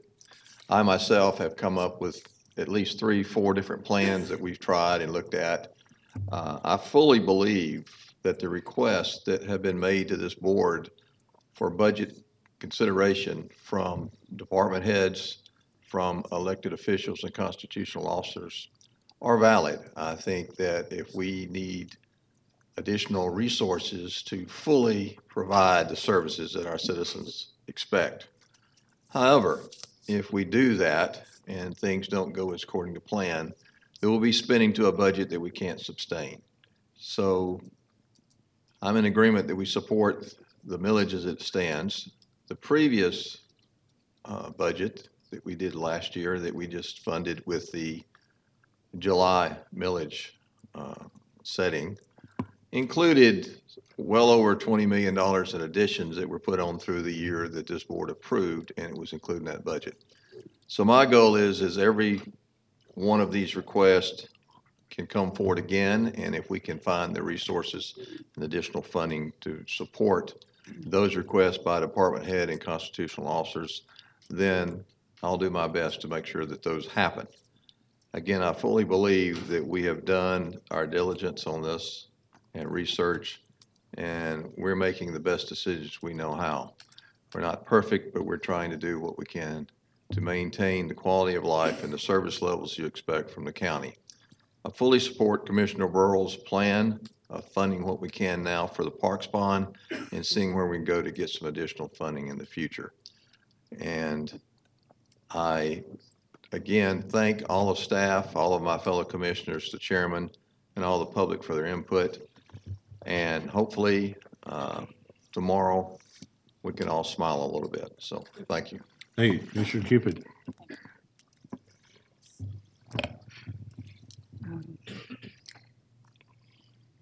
This process has been a sobering process for um, me, and I'm sure a lot of us up here, even more so hearing you tonight. Um, I will share, I'm probably the only commissioner that does not support a continuation of last year's budget. I think that we have been very diligent in reviewing all of the requests, and not just us, but staff has worked tirelessly. Our departmental heads have reviewed their needs tirelessly and also have been very patient. They've been very patient because a lot of the needs that they've put on the table have not been needs that have just um, arisen this year, but have been needs on the table for several years. And it's always been, you know, we'll consider it when things get better, when things get better. And it's very difficult when you not only see things getting better for Cobb County, but you know they're getting better for Cobb County and they don't translate to better services and, and um, investment that matches that on our end. I think that we are sensitive to your needs, but we're lacking in some intestinal fortitude to make it happen. I think that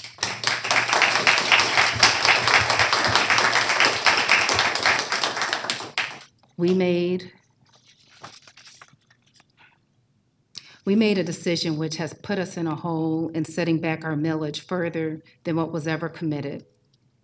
There was a commitment prior to me and um, um, at least one other commissioner coming on the board to continue to roll back the millage to the pre-recession level. However, we have gone beyond that.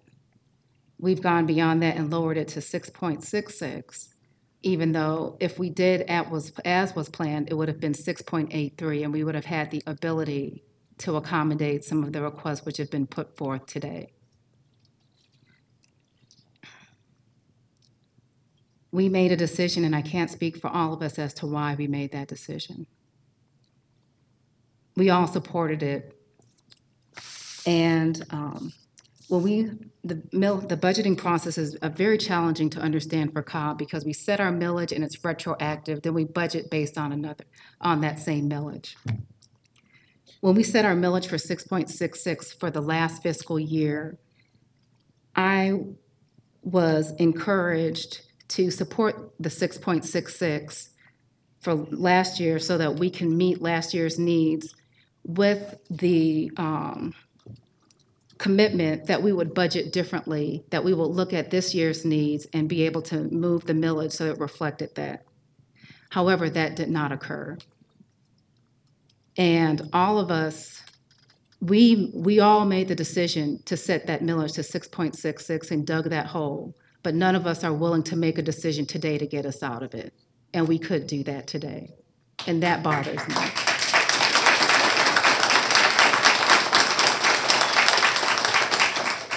We have the ability to do it. whatever is said today, don't think we don't have the ability to do it.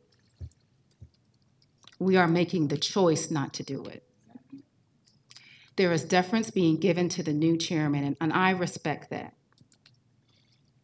I respect that we're consi- willing to consider a new player being on board. But that does not take anything away from our responsibility to you today, right now, based on what was presented.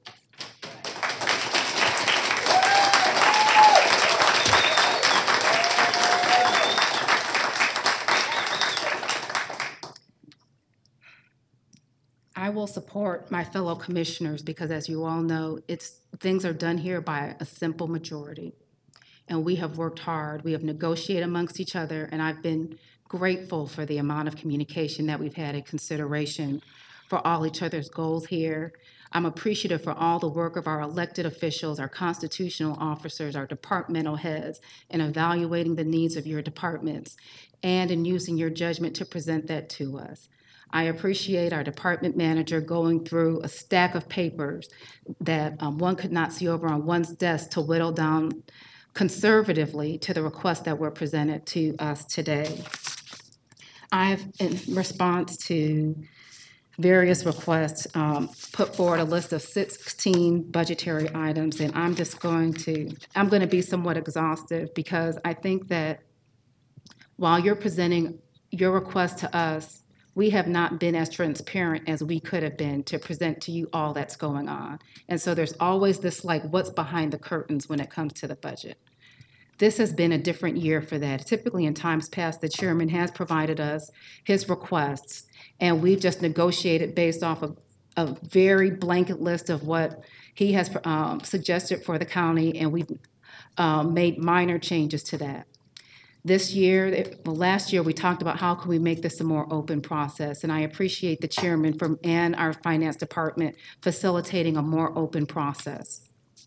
So this year, we received a list of all of the um, requests for our budget, which included um, revenues for the county and expenditures we looked at. Then we looked at the personnel requests, and I'm pleased to say, at least in contrast to last year, we don't have to fight for merit pay for staff, that that's already embedded in this continuation budget. Um, But um, we had a general fund expenditure list that was provided, and then we had several operating and capital requests by our department for a total millage impact of 0.37.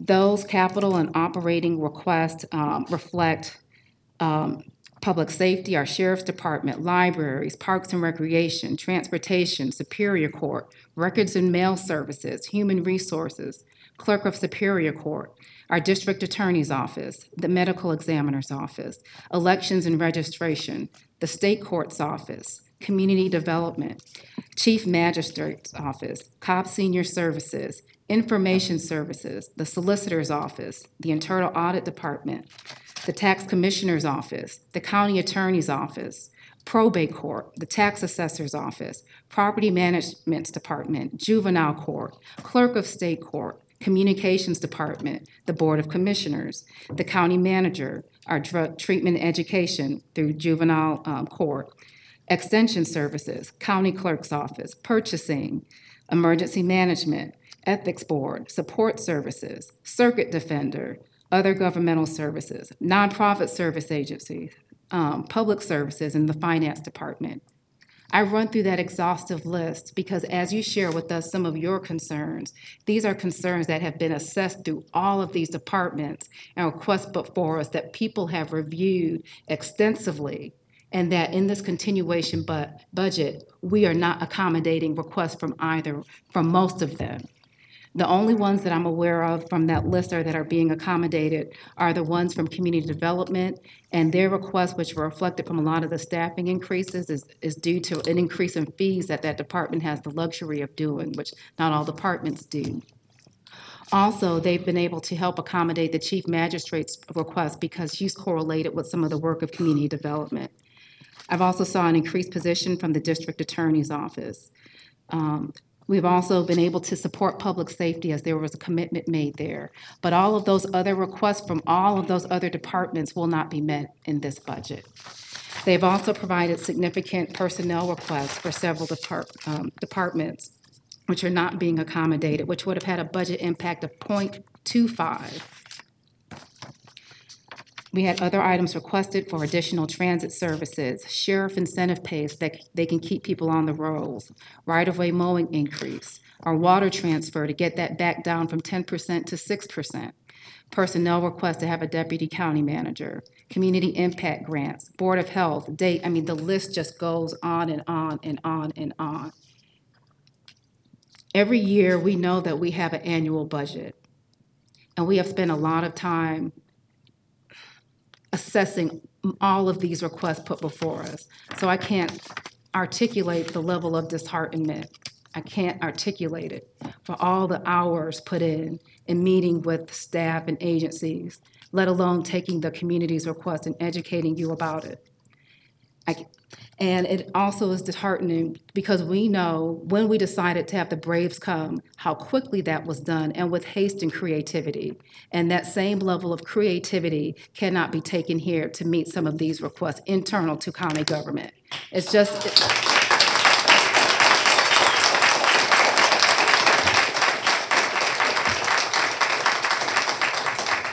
There has been no Braves request that I think have, we have oscillated on with great length and have actually said no, that I can, think can perceive of on this board. Not one, not one.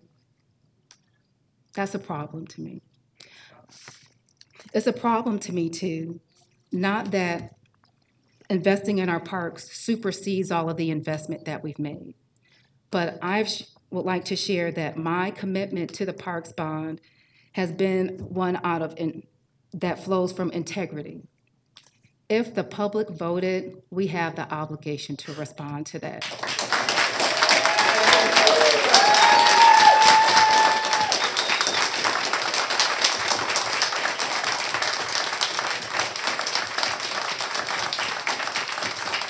Some of you stated it much more eloquently than I have, but this is about public trust. Yes when you come repeatedly, meeting after meeting after meeting, and beating down our doors and explaining why, and even giving us the reason to contemplate this, because there was a time when we were asked about this and it was no, it can't be done, it can't be done, it can't be done. You must have heard that for about a year before, because that was back in 2013 when we contemplated the Braves. Only after beating down those doors, we realized we could do something about it because somebody on this board had the intestinal fortitude to make sure that we looked at it. And so we looked at it and we contemplated it, but yet today we are we are not willing to make a tough decision to do it. And I think we've limited ourselves because we made the decision to roll back that millage so steeply. And that wasn't necessarily done in reflection of the quality of service that we were provided, but it was done because my heart of hearts is that it was politically motivated. And that's okay. That's okay because this we, we, we, we deal in the world of politics as we serve as your public servant. So it's not unreasonable for us to take that into account. But I think what's difficult is when we don't manage that with the continual request of the public, when we are callous to their words and their um, entreaties towards us for, for how we're spending public tax dollars, that bothers me. I think there's a way we could have accomplished more of this with, with working together. Um, let me just share a, a, I wrote some notes and I haven't even looked at one of them in the comments I made. So I just want to make sure that um, I didn't leave, any, leave anything unsaid. There was a comment made about a vision and lack of planning. I concur with that statement. We have not fully planned what we're doing. It's like we're always just scraping for crumbs, scraping for crumbs, scraping for crumbs. And we are a better county than that. We should be planning for our future, and we're not doing that. And I don't know what it's going to take for us to do that, other than you make, other than you putting that in our face and demanding it from us. Um,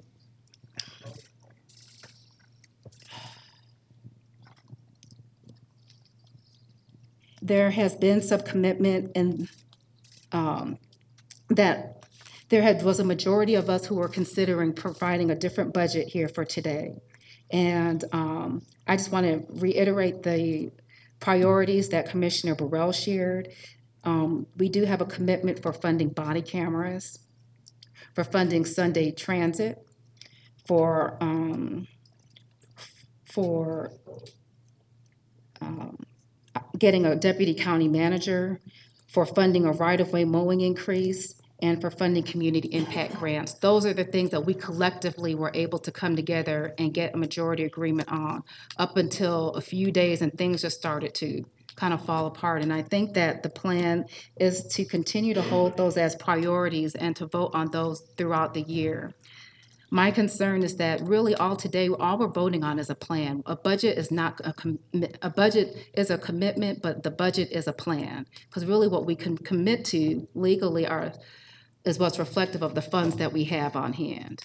All we're doing today is saying, this is how we want to spend our money. Next year, we'll actually make the, we'll set the millage to reflect what we're going to spend this year, if that makes sense for those who follow Cobb County's budgetary process. So the plan is for us to ask for these things throughout the year, knowing that it's going to have some type of millage impact and that we're going to set the millage for that next year. And um, I want the commissioners to know I'm very supportive of that, but I'm still troubled by that.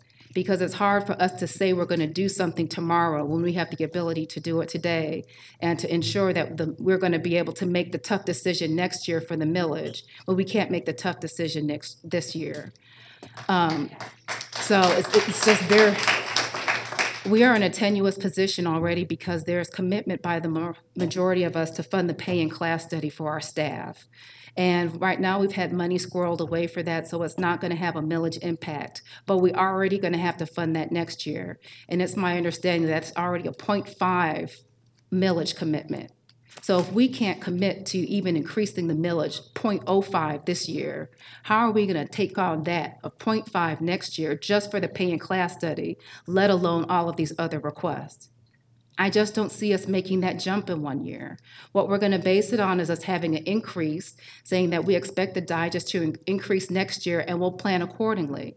But the troubling fact of that matter is the digest has been increasing year after year after year. So why would we do something different next year that would have a greater millage impact? And we have shown no track record of doing that in the years prior. Again, I just don't know how we're going to do it. I don't know, and I don't think it's a responsible way to do it. So for me, I do support um, one thing that was shared tonight, and that is for us to come back next year and see if there's another way for us to fund the parks bond. Because again, out of a matter of integrity, we have to do that. But that's another, but the irony of it is we're asking you to trust us again on another referendum. So, you know, uh,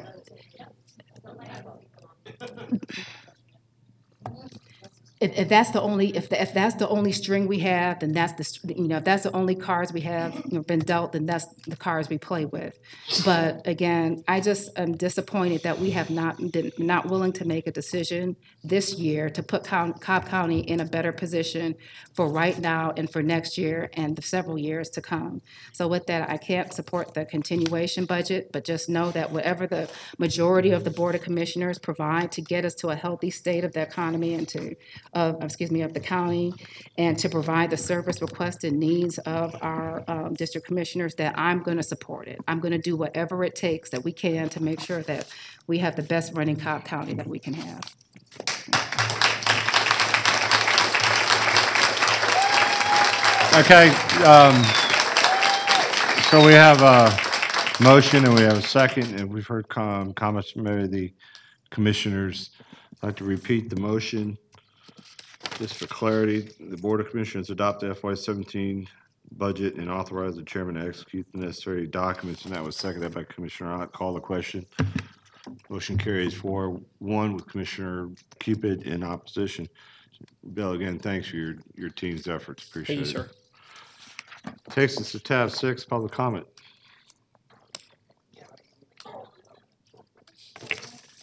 The first speaker is Dr. John Morgan.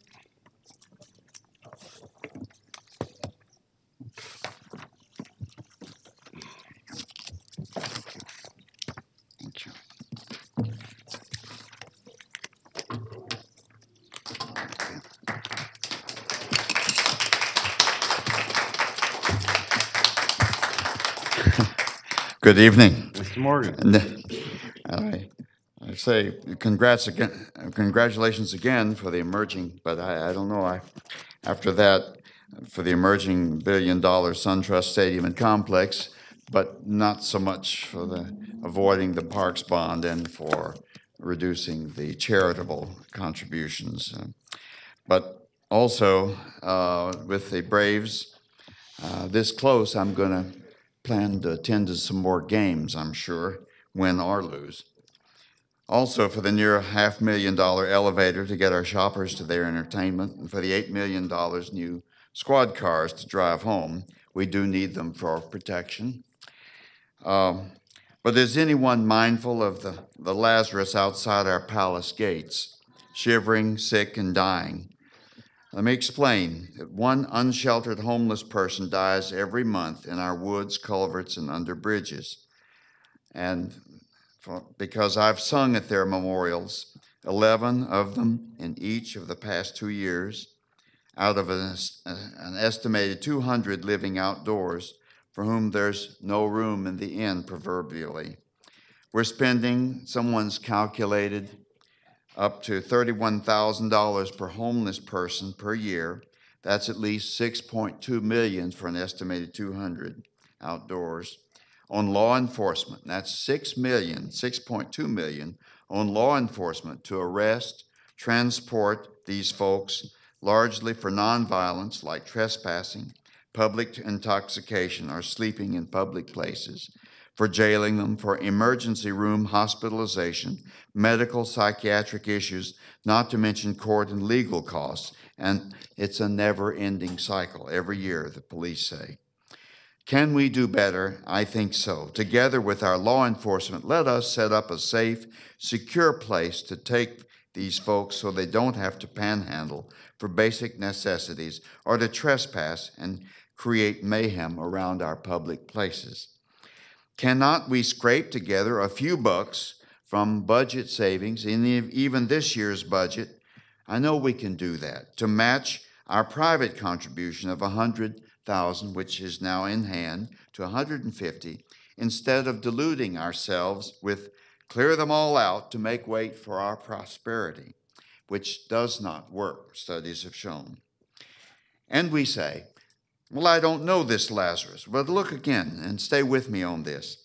And looking at this uh, projected thing, the, the center on down, um, in the county's hybrid and defined benefit contribution plan, your Board of Trustees does a good job uh, investing in mutual funds that give a good return, like the, the Vanguard Standard & Poor's 500 Index Fund, which is about the best, with Cigna and others, bringing a respectable 7 to 8% return average this year in an average year, better in other years, but like most, dropped 21% in 2008 and I know we were all skittish, I was. Its holdings, Vanguard's like mine, includes Microsoft, uh, top 10, 106 million shares, IBM Hewlett Packard Enterprise, and AT&T uh, with less shares, and others, of course.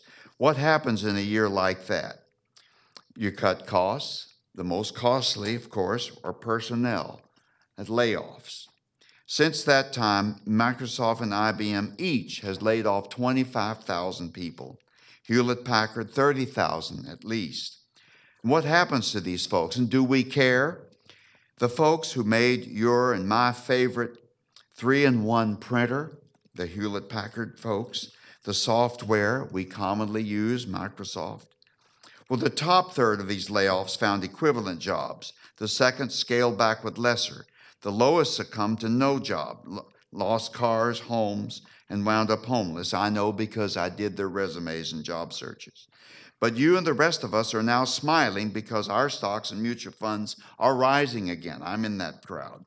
Securing our future. Said another way, our retirement is secured on the backs of many of these former workers now homeless. Am I anti capitalist? No way. But it's still the best democratic investment system yet devised. However, there is a downside these cast off workers. So even as we recycle our trash, let us together recycle these lives with an affordable, practical, proven, successful, community based plan. And folks, we here offer such a plan. And we do, are connected with these layoff folks. Here is this plan, and I pass around to all of you who do not have them, and you can keep these. No, thank you, sir. Lisa, do you, Ms. Cupid, do you have one of those books? I'll give her mine, Doctor. Okay. Thank you. The next bro- speaker is Richard Winall.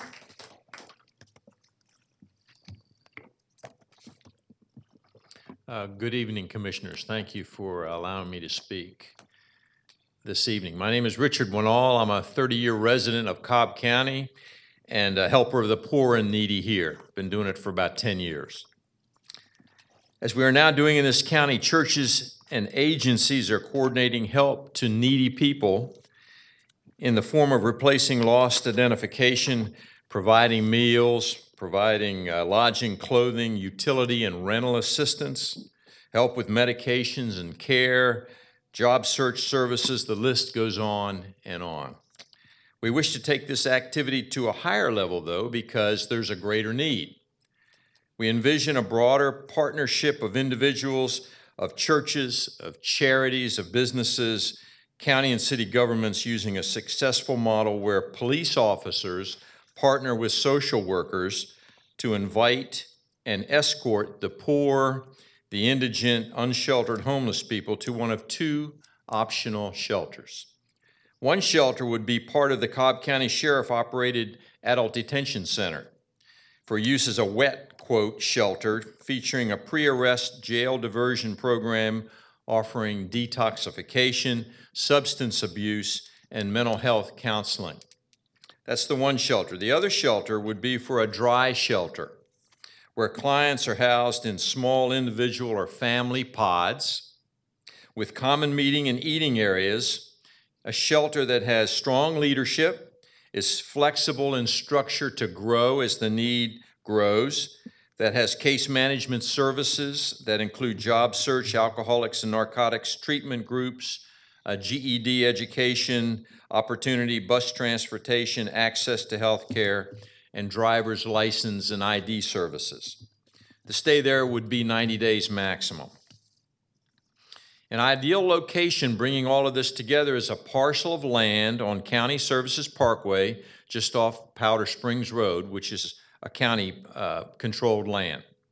So we put, for you, uh, put before you this plan for consideration a feasibility study you have in your hands based on an operation in Florida that has 10 years of success, vetted by a group of like minded folks here in this county in serious discussion and thought and prayer and how it would apply to this county. Folks who wish to help alleviate the situation of unsheltered, homeless people. This plan is a start. It needs your support and approval to move forward. These people who need our help, uh, further help, are some of whom we know, some of whom have helped and served us. They've made our products in this county, they've served in our armed forces. Who would have predicted that now in our county uh, there would be a you know a plus a billion plus stadium and commercial center at the intersection of I-75 and I-285? So rather than predicting that outside its walls, widespread panhandling, large scale police involvement, and potential interruption of the people who will attend the functions and spend their money to support the businesses, instead of that, let us now visualize law enforcement, uh, law enforcement officer and social worker working together to escort these homeless, poverty stricken, indigent people attracted to this place, this large commercial enterprise to rehabilitation and poten- uh, potential self sufficiency. Let us not be like the rich man who ignored the old poor man Lazarus.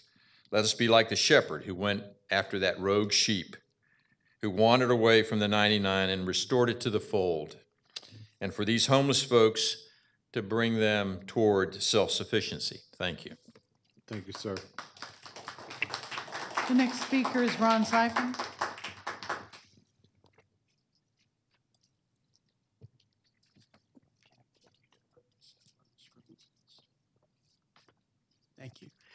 Thank you. Commissioners. Good evening. I'm Ron Sifen. And um, I've- I'm going to try and address two issues tonight. I'm going to start with um, eh, front page in today's MDJ. There's been quite a bit of controversy over this.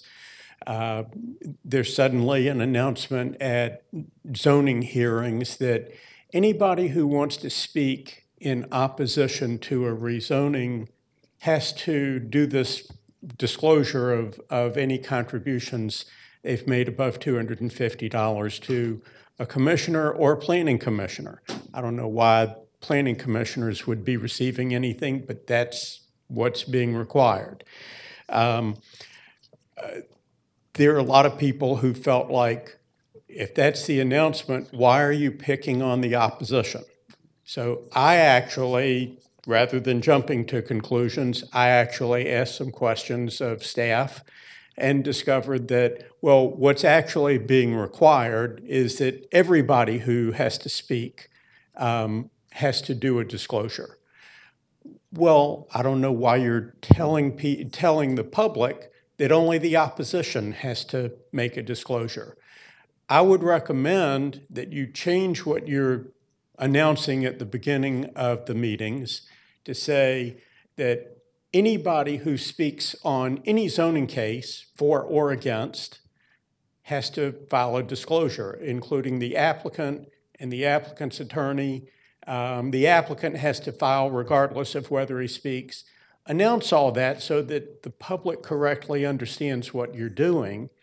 Um, and then um, if you want to also add that the applicant and the applicant's attorney has already filed this, is supposed to have already filed this, and it should already be in the zoning file, but the public needs to uh, go ahead and file a disclosure if they haven't already. I think that would help the public to understand this issue better than is the current understanding. Okay, so the other issue that I wanted to address is you had a work session today, you discussed RSL. You correctly discussed that the public has become concerned about a couple of issues. uh, the density involved in, uh, with RSLs when, when they're going into low-density residential and also the location. There's actually a third issue that you didn't identify, so I want to cover that. Um, The issue is, um, first of all, it, RSL started out, it was supposed to be near, um, near services.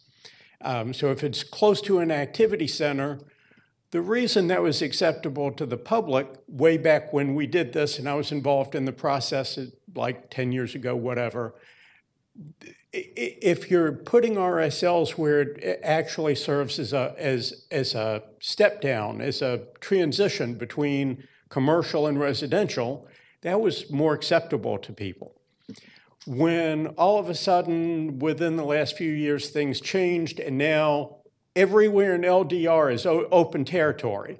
We're going to have five units per acre in the middle of, of LDR, um, nowhere near services. That became an issue. But now there's another issue that, that is going even beyond that, and that is now that we're opening this up and it, it's it's becoming more and more frequent, we're having areas where it's not just one higher density development in the middle of LDR, three and a half, four, four and a half units per acre, up to five. What happens in areas where you're getting two, three, four, five of these in the same area? Well, collectively, you're really changing the character of an area that is really LDR. One of these might not have done that, but when we start getting multiple RSLs in, a, in an area nowhere near services, everything's just LDR, you're changing the feel of the whole community. You're changing the character of the whole community to something that's just higher density. So I want you to, as you consider RSL and consider these issues, um, we really may need to go back to, uh, to the idea of locating RSLs close to services And even if there are exceptions, they need to be rare exceptions, and we need to not be Thank you. bombarding areas to, to change the character. Thank you. Mr. Seifert. The next speaker signed up is Ben Williams. Is he still here?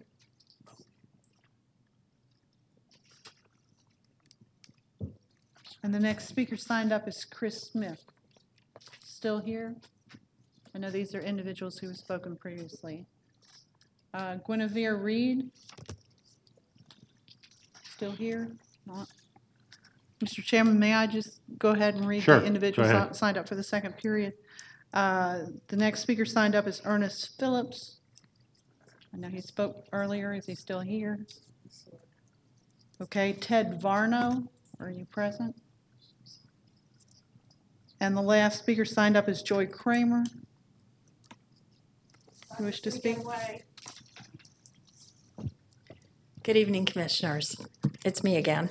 Um, And I will be quick because I um, wanted to um, touch on two separate issues, um, continuing on the discussion with regards to your look at planning ordinances and RSL. And I was watching the video um, from your workforce, or your work planning session today, and I wanted to call to your attention potentially a third option as you look at developing ordinances for um, senior living, and that is intergenerational communities. There is a, um, a foundation funded by the MetLife Foundation and also um, communities, uh, generational communities united, that provides a set of policies and practices for communities to adopt on this very issue. Um, short anecdote about my mom. She's 89 years old, and she loves to go out to dinner with my friends. I'm like, Mom, why are you hanging out with my friends all the time?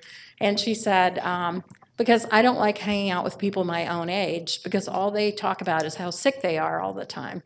So, what I wanted to encourage you as you look forward to the future and how we're going to plan for this senior wave that's coming, let's let's think about intergenerational communities and how we can develop those. Let's not put our seniors in a box or a high density place. Let's see if there's a way to integrate um, young and old together. Um, the next topic that I wanted to talk about again is animal control. As I mentioned earlier, I'm a volunteer for animal control. Um, with regards to ordinances, I would encourage you to look at a spay neuter ordinance for Cobb County. Um, I know that um, ASPCA has some best practices on that that you could use as a model guide. When we have spay neuter ordinances, um, that reduces the overpet population. The reason that we have great rescue organizations like Southern Journey um, where we ship, literally ship rescue animals up to the Northeast is because they have spay neuter ordinances up there. It is the law that you have to spay or neuter your pet. And so they don't have an over pet population. When we don't have an over pet population, we're not euthanizing. And also, it saves money on Cobb County Animal Control. So I encourage you to look at the pros and cons of adopting a spay neuter order, ordinance. And I will send you all email information on all of these tonight that I spoke on. Thank you so much for your time. Thank you, ma'am. Just to be clear, the names that uh, Deborah Dance, our counselor, called out, those were the names, there's people that were signed up for the public hearing or public comment at the end of the meeting. We were going to bring them forward if you had any comment to make, rather than wait until we get through the red. So, Ms. Ms. Dance, that that was the final not speaker, correct? Okay. So we're going to move on to tab seven, our consent. Commissioners, we have one item we need to add, which requires a majority, a supermajority to add since it is uh, un, it's an additional item. And that is to add tabs, under tab seven, item twenty-seven, authorized settlement of a workers' comp, uh, workers' compensation claim on behalf of Berryman, Washington. Is there a second to add that item? Second. Multiple seconds, call the question. Just one thing, sorry, Yes, Chairman. Um, we received a modified map for agenda item number nineteen, but in the book is the older one. I don't know if our Well, vote well, tonight. ma'am, I appreciate your, your fortitude in getting to that item, but right now, we're on the, the issue of adding the, um, extra item to the Okay. consent. Okay. So let- let's do that first. Okay. And that passes five zero. Now, we'll take up the issue of the consent agenda items. So what is your comment, Commissioner? Uh, Yes, agenda item number 19, there was a modification to the map that's not reflective in this map here. Um, Our Community Development Director emailed that to us, and I don't know if we need to um, refer to that when we're voting, so that, Okay, when I make my motion, since he provided that to us as part of our um, backup for the items associated with the consent agenda, as there are other revised items as well that were presented to us, when I make my motion, it will be to approve the motion, a- or appro- approve the agenda as revised, which would include that map as Okay. part of uh, Dana's submission to modify that um, agenda item. thank you, and I'm, and, hold on, it's, well, it's- yes, it's item number eight, Pardon me? it's item number 18. Yes. Okay, yes, yes, ma'am. I received a copy of the logo. Turn your mic on. I did receive an email from Jason Gaines with the logo in color, but I don't recall Yeah, a we- revised map. We got both of them. We did? Yep. It's Okay. not, I, I don't know who all received it, I know I received it now. Come on up. Would you clarify this and clear it up for us, please? Sorry to wake you guys up that we're sleeping. Good evening, Chairman Dana Johnson, Community Development. Um, At the work session, we were requested to revise the map in order to bring it northbound to Macklin Road, uh, following Windy Hill Road and over to the City of Smyrna boundaries. Uh, We have done that, have sent that to the clerk's office. Um, It should have been distributed, so all all commissioners should have received a a revised copy as part of the process. And you'll follow up with any commissioner that does not have it in their possession right now, first thing in the morning, correct? I will actually do it, but as soon as I sit down on my desk, sir. Perfect. Appreciate that. So I'd like to bring forward a motion to approve the con- consent agenda as revised, inclusive of the two documents Dana provided under separate cover, and authori- authorize the execution of necessary documents by the appropriate county personnel. Is there a s- a second? Any comments? Call the question. Motion carries five zero. Thank you, Commissioners. That takes us to tab, I'm all covered up here. What do you, Jane, your tab number eight, Transportation. Director Wilgus. Good morning, Chairman. I'm sorry, good evening, Chairman, Commissioners, Mr. McCullers. Our first item is to approve a consultant services agreement with Michael Baker International, Inc. for engineering design services of Mars Hill Road over Allatoona Creek, project number X 2115, CCDOT contract number 000967. Mars Hill Road over Allatoona Creek is an approved bridge replacement project in the 2016 SPLOST Transportation Improvement Program. We request the Board of Commissioners approve a consultant services agreement with Michael Baker International, Inc. in an amount not to exceed $336,690 for engineering design services of Mars Hill Road over Allatoona Creek, project number X 2115, CCDOT contract number 000967, authorize the corresponding budget, budget transactions, and further authorize the chairman to execute the necessary documents. Thank you, Commissioner Weatherford. Motion to approve is presented. Second. Any comments? Call the question. Motion carries five zero. Item two. Item two is to approve a right-of-way ma- mowing and maintenance agreement with the Georgia Department of Transportation for the I-285 multi-use bridge, project numbers E 4210 and TR 494. I-285 multi-use uh, project consists of a bridge spanning Galleria Drive, I-285, and Circle 70 Parkway to SunTrust Park. The department is in receipt of a right-of-way mowing and maintenance agreement from the Georgia Department of Transportation. Per terms of the agreement, the county or its de- designee will be responsible for ongoing maintenance of the bridge structure and any landscaping vegetation that may be installed as part of the multi-use bridge project. We request the Board of Commissioners approve a right-of-way mowing and maintenance agreement with the Georgia Department of Transportation for I-285 multi-use bridge, project numbers E 4210, TR 494, and authorize the chairman to execute the necessary documents in a form substantially similar to that attached and as approved by the county attorney's office. Commissioner Ott? Motion to approve. Second. Call the question. Motion carries 5-0. Thank you. So that takes us to item three. Item three is to approve an indemnity agreement with the Georgia Department of Transportation for the I-285 multi-use bridge project numbers E 4210 uh, dash uh, slash TR 494. The I-285 multi-use bridge project consists of a bridge spanning Galleria Drive, I-285, and Circle 75 Parkway to SunTrust Park. The department is in receipt of an indemnity agreement from the Georgia Department of Transportation. For terms of the agreement, the county will be responsible for maintaining the lighting and planter boxes installed on the bridge deck in a state of good repair in accordance with GDOT's safety and maintenance standards.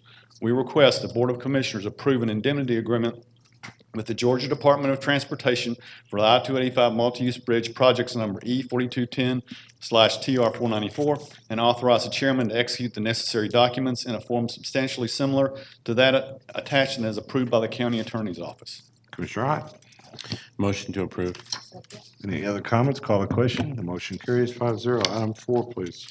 This item is to approve a utility relocation agreement with Georgia Transmission Corporation for preliminary engineering and relocation of facilities on Sandy Plains Road, project number E sixty-sixty, CCDOT contract number 001036.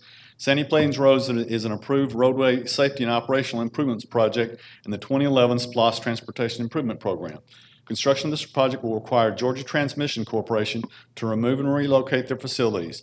Since the facilities may be located on Georgia Transmission Corporation's easement, the cost of the relocation in an amount not to exceed two million, three hundred and fifty uh, thousand, four hundred and sixty-four dollars and nine cents may be reimbursable by Cobb County. We request the Board of Commissioners approve a utility relocation agreement with Georgia Transmission Corporation in an amount not to exceed two million, three hundred and fifty thousand, four hundred and sixty-four dollars and nine cents for preliminary engineering and relocation of facilities on Sandy Plains Road, project number E sixty-sixty, CCDOT contract number 001036. Authorize the corresponding budget transactions and further authorize the chairman to execute the necessary documents in a form substantially similar to the attached and as, as approved by the county attorney's office. When does that project begin? It's between Piedmont and Ebenezer. But when does it be, when, when does Oh. it begin? Uh, they can't do this relocation until next year, so it'll be sometime later next year. Good. Commissioner Broke. Oops. This is a project that has um, been delayed from the previous blast, and Previous commissioner also. Yeah, that too. But um, I'm glad to see with all the meetings with the church and the surrounding business owners and that we finally come to an agreement and it is moving forward. There are still some things that have to be done and um, I will be glad to see this. This is the last segment of median on Sandy Plains that, that will be um, installing. So with that, I make a motion to approve. Second. Call the question. Motion carries five zero. Item five, please. Item five is to approve the ranking of the two most qualified firms for development of Cobb County Bicycle and Pedestrian Improvement Plan Update Phase One, project number X twenty-five fourteen. Planning Studies is an approved project in the traffic management, traffic signal timing, and planning component of the twenty sixteen SPLOST Transportation Improvement Program. We request the Board of Commissioners approve the rec- recommended ranking of the two most qualified firms for development of Cobb County Bicycle and Pedestrian Improvement Plan Update Phase One, Project Number X twenty-five fourteen, and authorize negotiations for final scope of services and fees, beginning with the top-ranked firm, WSP Parsons Brinckerhoff, utilizing Selection Process One competitive negotiations. Thank you. I'll bring this forward in form of a motion. Is there a second? Second. Yes, sir, of course. Um, you know, we, we heard some comments tonight about not having plans. And this is an example where we do have a plan. And we also have read recently that, um, it was questioned why the county hires consultants at times to do some of these studies. It is not that we don't have capable staff. But in this particular case, you're talking about something that is for Cobb County, but it's also going to be integrated with the region. And so th- there are times that it is appropriate to use consultants, and this is an example, because it's a regional issue connecting with Cobb. So I just wanted to say that. Thank you. Call the question. Motion carries five zero. Item six, please. Our final item is to approve the ranking of the three most qualified firms for development of the transit service plan for CobbLinc, a service of Cobb Community Transit, project number X twenty-five fifteen. Development of a transit service plan will include an evaluation of the overall structure and delivery of the transit service provided by CobbLinc, a service of Cobb Community Transit, to include development of, of, of a strategic approach. The TSP will also include a compilation, uh, compilation of a guide for the development of service plans that will improve the overall delivery of services to our customers and meet the evolving transportation and travel needs of both Cobb County and the region. We request the Board of Commissioners approved the recommended ranking of the three most qualified firms for development of the transit service plan for CobbLinc, a service of Cobb Community Transit, project number X twenty-five fifteen, and authorized negotiations for final scope of service and fees, beginning with the top-ranked firm, Nelson Nygaard, utilizing selection process one competitive negotiations. Thank you. I'll bring this forward in the form of a motion. Is there a second? Call the question. Motion carries five zero. Thank you. Thanks, sir. Director. Tab nine is uh, Public Services Agency. Director Cannon. Good evening, Chairman, Commissioners, Director. Um, This evening, I have one item. It is for the Board of Commissioners to approve a contract with TVS Design in amount not to exceed $725,000 for professional design and construction administrative services for the replacement of existing exhibit halls with a new exhibit hall at Jim R. Miller Park. This comes under the 2016 Park SPLOST program, and I ask that you authorize the corresponding budget transactions and further authorize the chairman to execute the necessary documents. Thank you. Commissioner Cupid, this is in your district. Yes, uh, motion to approve. Any comments? Call the question. Motion carries five zero. While you're there, what's going on at Jim Miller Park? Uh, This week, we're in the middle of the fair um, for the rest of the week through Sunday. Um, It's going to be beautiful weather. It's going to cool off a little bit, so please take advantage of that and go out and enjoy yourself. Best fair ever, right? That's exactly right. Thank you, sir. Thank Great you. job of your team out there, by the way, to get that ready. Your ex-team, I should say. You want You want some? to introduce me? Yeah, I guess so. I have to. We know who Tab ten, Cobb County Public Safety Agencies, Director Heaton. Thank you, sir. Good evening, Chairman, Board of Commissioners, and Mr. McCullers. Uh, Coming to you tonight, to authorize the purchase of a frontline communications of a C-43X-4 mobile communications command vehicle through the Houston Houston Galveston Area Council Cooperative Buyers Program Project X1063. This is a 2016 splost item. Uh, Currently, we have vehicle we are using is a 2001 Freightliner Command Center, and it's nearing its uh, end of its useful life. The departments that utilize this vehicle is uh, Cobb Fire, Police, 911, and our Sheriff's Office. Uh, The the C-43X-4 mobile communications vehicle will be replacing this existing vehicle at a cost of $1,231,469.56 with two hundred and sixty-eight thousand, five hundred and thirty dollars and forty-four cents designated for owner-supplied communications and computer technology to be installed. In an effort to maximize cost savings measures offered by Frontline Communications, payment in full will be made upon issuance of a purchase order, which will result in a savings of fifty-four thousand, six hundred and forty dollars and forty-one cents.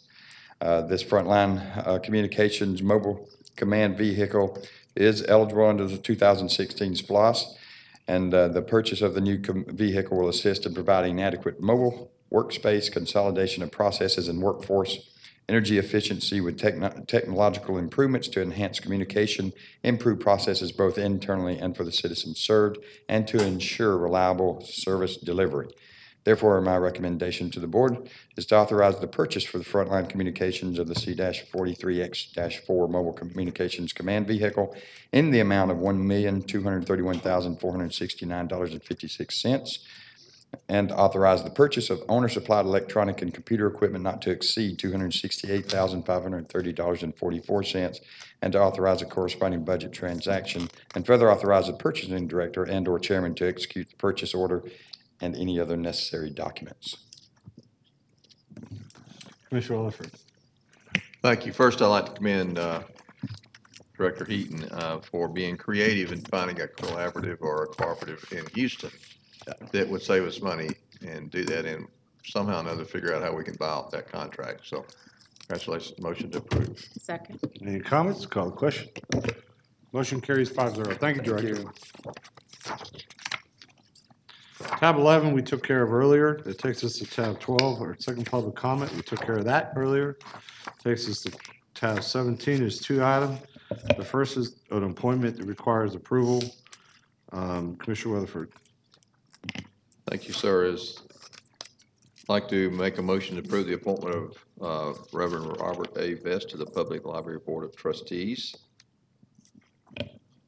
Second. Any comments? Call the question. Motion carries five zero. The next item is an announcement, which, which requires no approval vote by the board. Commissioner Weatherford. I'd like to announce the appointment of uh, Patty Vaughn to Keep Cobb Beautiful Incorporated, uh, to replace James Douglas for a term to expire December 13, 2031, 2018. Thank you. Sure should do a great job. Uh, The next tab is our commissioner comments tab, uh, tab 14. Commissioner Ott, you want to go first tonight? Thank you, Mr. Chairman. Um, I want to start off with uh, just a story about our police, um, as, as I'm doing each, each meeting. Um, On September 5th, Fox 5 News aired a story about Chase Howard. Chase Howard has a rare and fatal form of muscular dystrophy that is um, called Duchenne muscular dystrophy. He was about to celebrate his 10th birthday and had requested birthday cards from anyone who'd send them to him.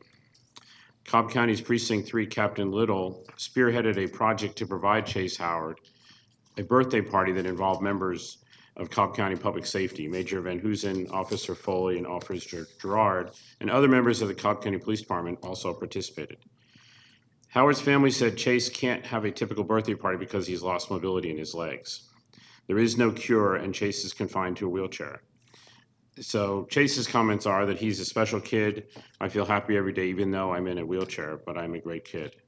And so I just want to commend those officers and the other um, folks from the police department for um, that great outpouring to Chase. Um, Secondly, um, we had great news in East Cobb this past week. Uh, Money Magazine, in their annual Great Places to Live, for the first time picked a place in each state, um, saying it was the best place to live. And they picked unincorporated East Cobb for the state of Georgia. Their comments were, "The unincorporated area administered by, by the Cobb County government was once dominated by chain restaurants, but is now embracing mom and pops that will give your taste buds a pleasant surprise and make the most of the small-town Dixie hospitality."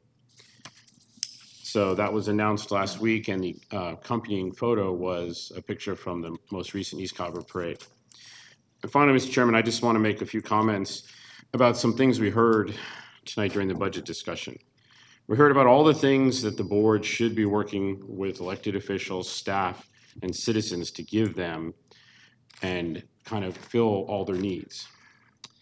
The rest of the story is that if all these requested items, plus the 2008 park bond, plus the proposal from Commissioner Birrell for a new park bond, the increase in the millage would be 3.41 mills. That's a 51% increase in taxes.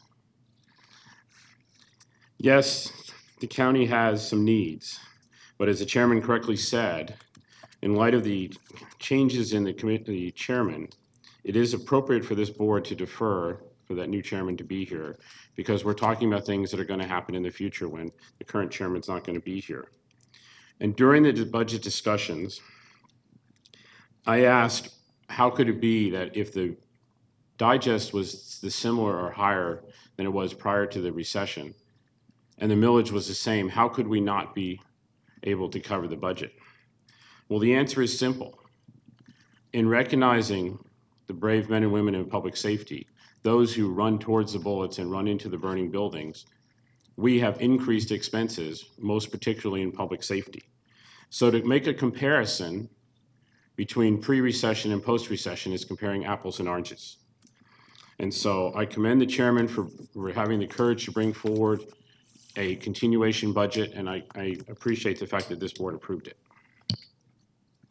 Thank you, Commissioner Birrell.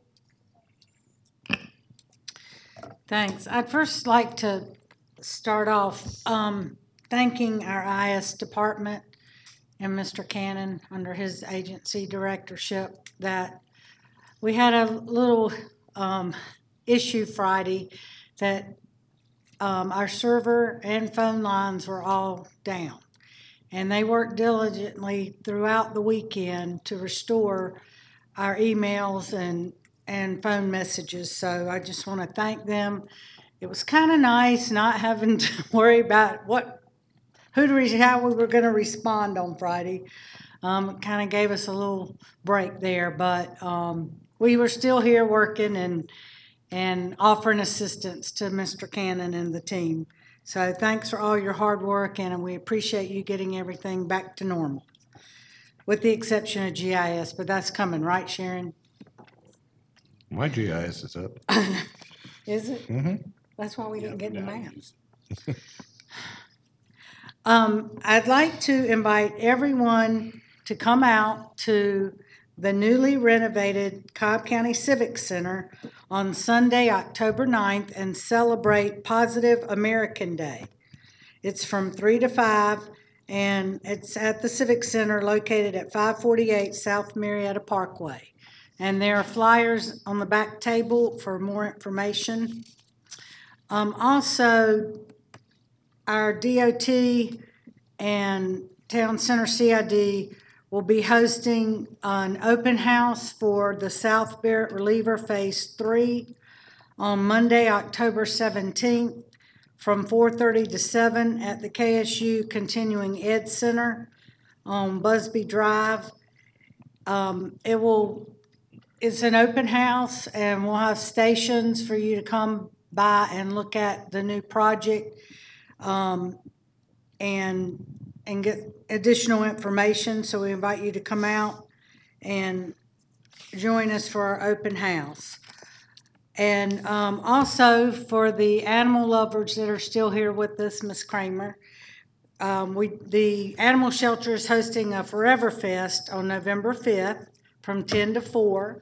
You can come take home your new best friend and see all the animals at discount rates. Uh, our next How to Do Business with Cobb seminar is Thursday, October twentieth, here in this room from five to seven PM. Uh, we have Keep Cobb Beautiful is hosting Medical Disposal Day on Saturday, October twenty-second. Um, from ten to two at the Superstation on Highway forty-one, Police Precinct One. It's a great way to get rid of old expired medicine that you don't want to throw out um, or get in the wrong hands. And last but not least, on October, the weekend of October 21st and 22nd, KSU will be hosting their annual Halloween festival, and there are some flyers in the back. It's at the um, athletic fields and entertainment park, and there's a lot of events going on within that venue. So be sure and join KSU. That's all I have. Thank you, Commissioner Cupid.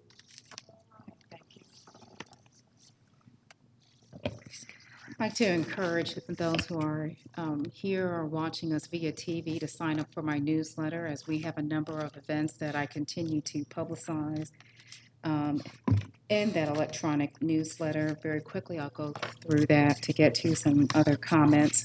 We have a Georgia Blues and Roots Festival, which is taking place at the Mable House Amphitheater on October 1st from 10 a.m. to 10 p.m. and encourage you to attend that. Also, this week, we have a workshop for nonprofits who are seeking grant funding through our Cobb Community Development Block Grant Office. And that is this Thursday, September 29th, at the Ron Anderson Recreation Center at 2 p.m.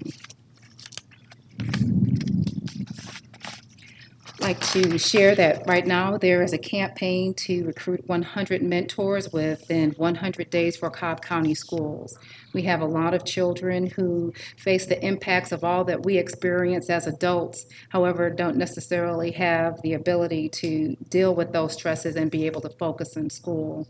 And the mentors that we have through our um, school district have been able to help in helping our children navigate some of those challenges so that they can perform well.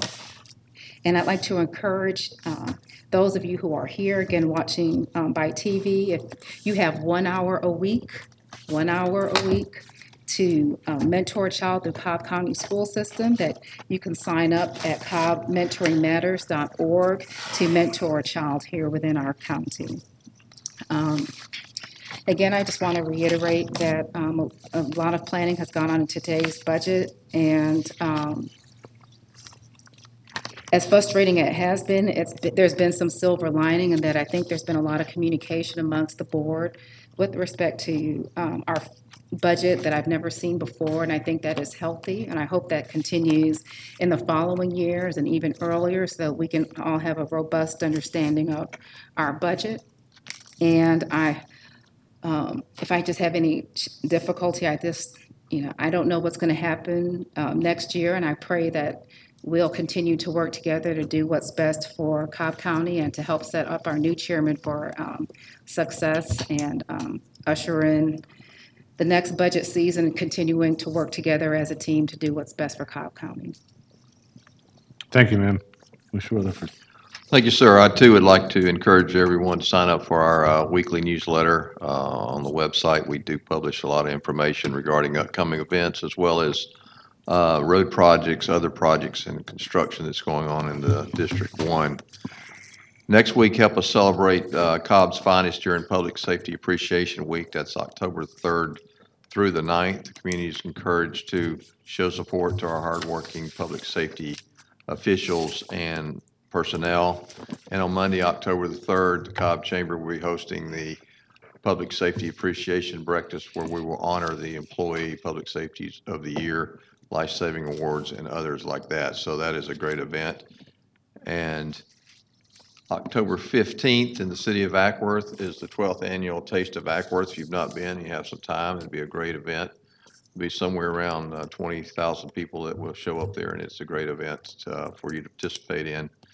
And again, I'd like to uh, reiterate what Commissioner Cupid said. I think we've had some great conversations amongst all of us, and we've all worked hard to come up with what we can do to uh, uh, pass a budget that we feel we can live with, and I commit that I'll work forward uh, to making sure that we fund what is necessary to keep this county at the service levels that we expect. Thank you, sir. Thank you. Um, I could have sworn Commissioner Cupid, I looked over there and saw double for a little bit. I did have Commissioner White with me today, yes.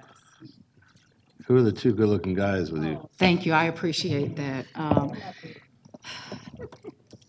I have Nehemiah and Noah Cupid here with me today, who've Hey, done boys, an up here for a excellent minute. job, I think. Come up Um, here. As a mom, I'm very proud of you. Thank you. Come on. I'll come be up. glad to give you my seat. Come on. Come on up. Come up. I gotta tell you what, boys, I'm proud of you. You sat here for three hours, four hours of painful deliberation. You sat here for Have a seat, you guys. painful deliberation, and you were excellent. Come here, son. Son. Oh, that's so Get the big sweet. chair. Big chair. Go sit by your. You don't know where that seat's been. So I think, um, Don't let 'em push I the think, I think what it is, I appreciate you guys being such good men, okay? Thank you very much, we appreciate it.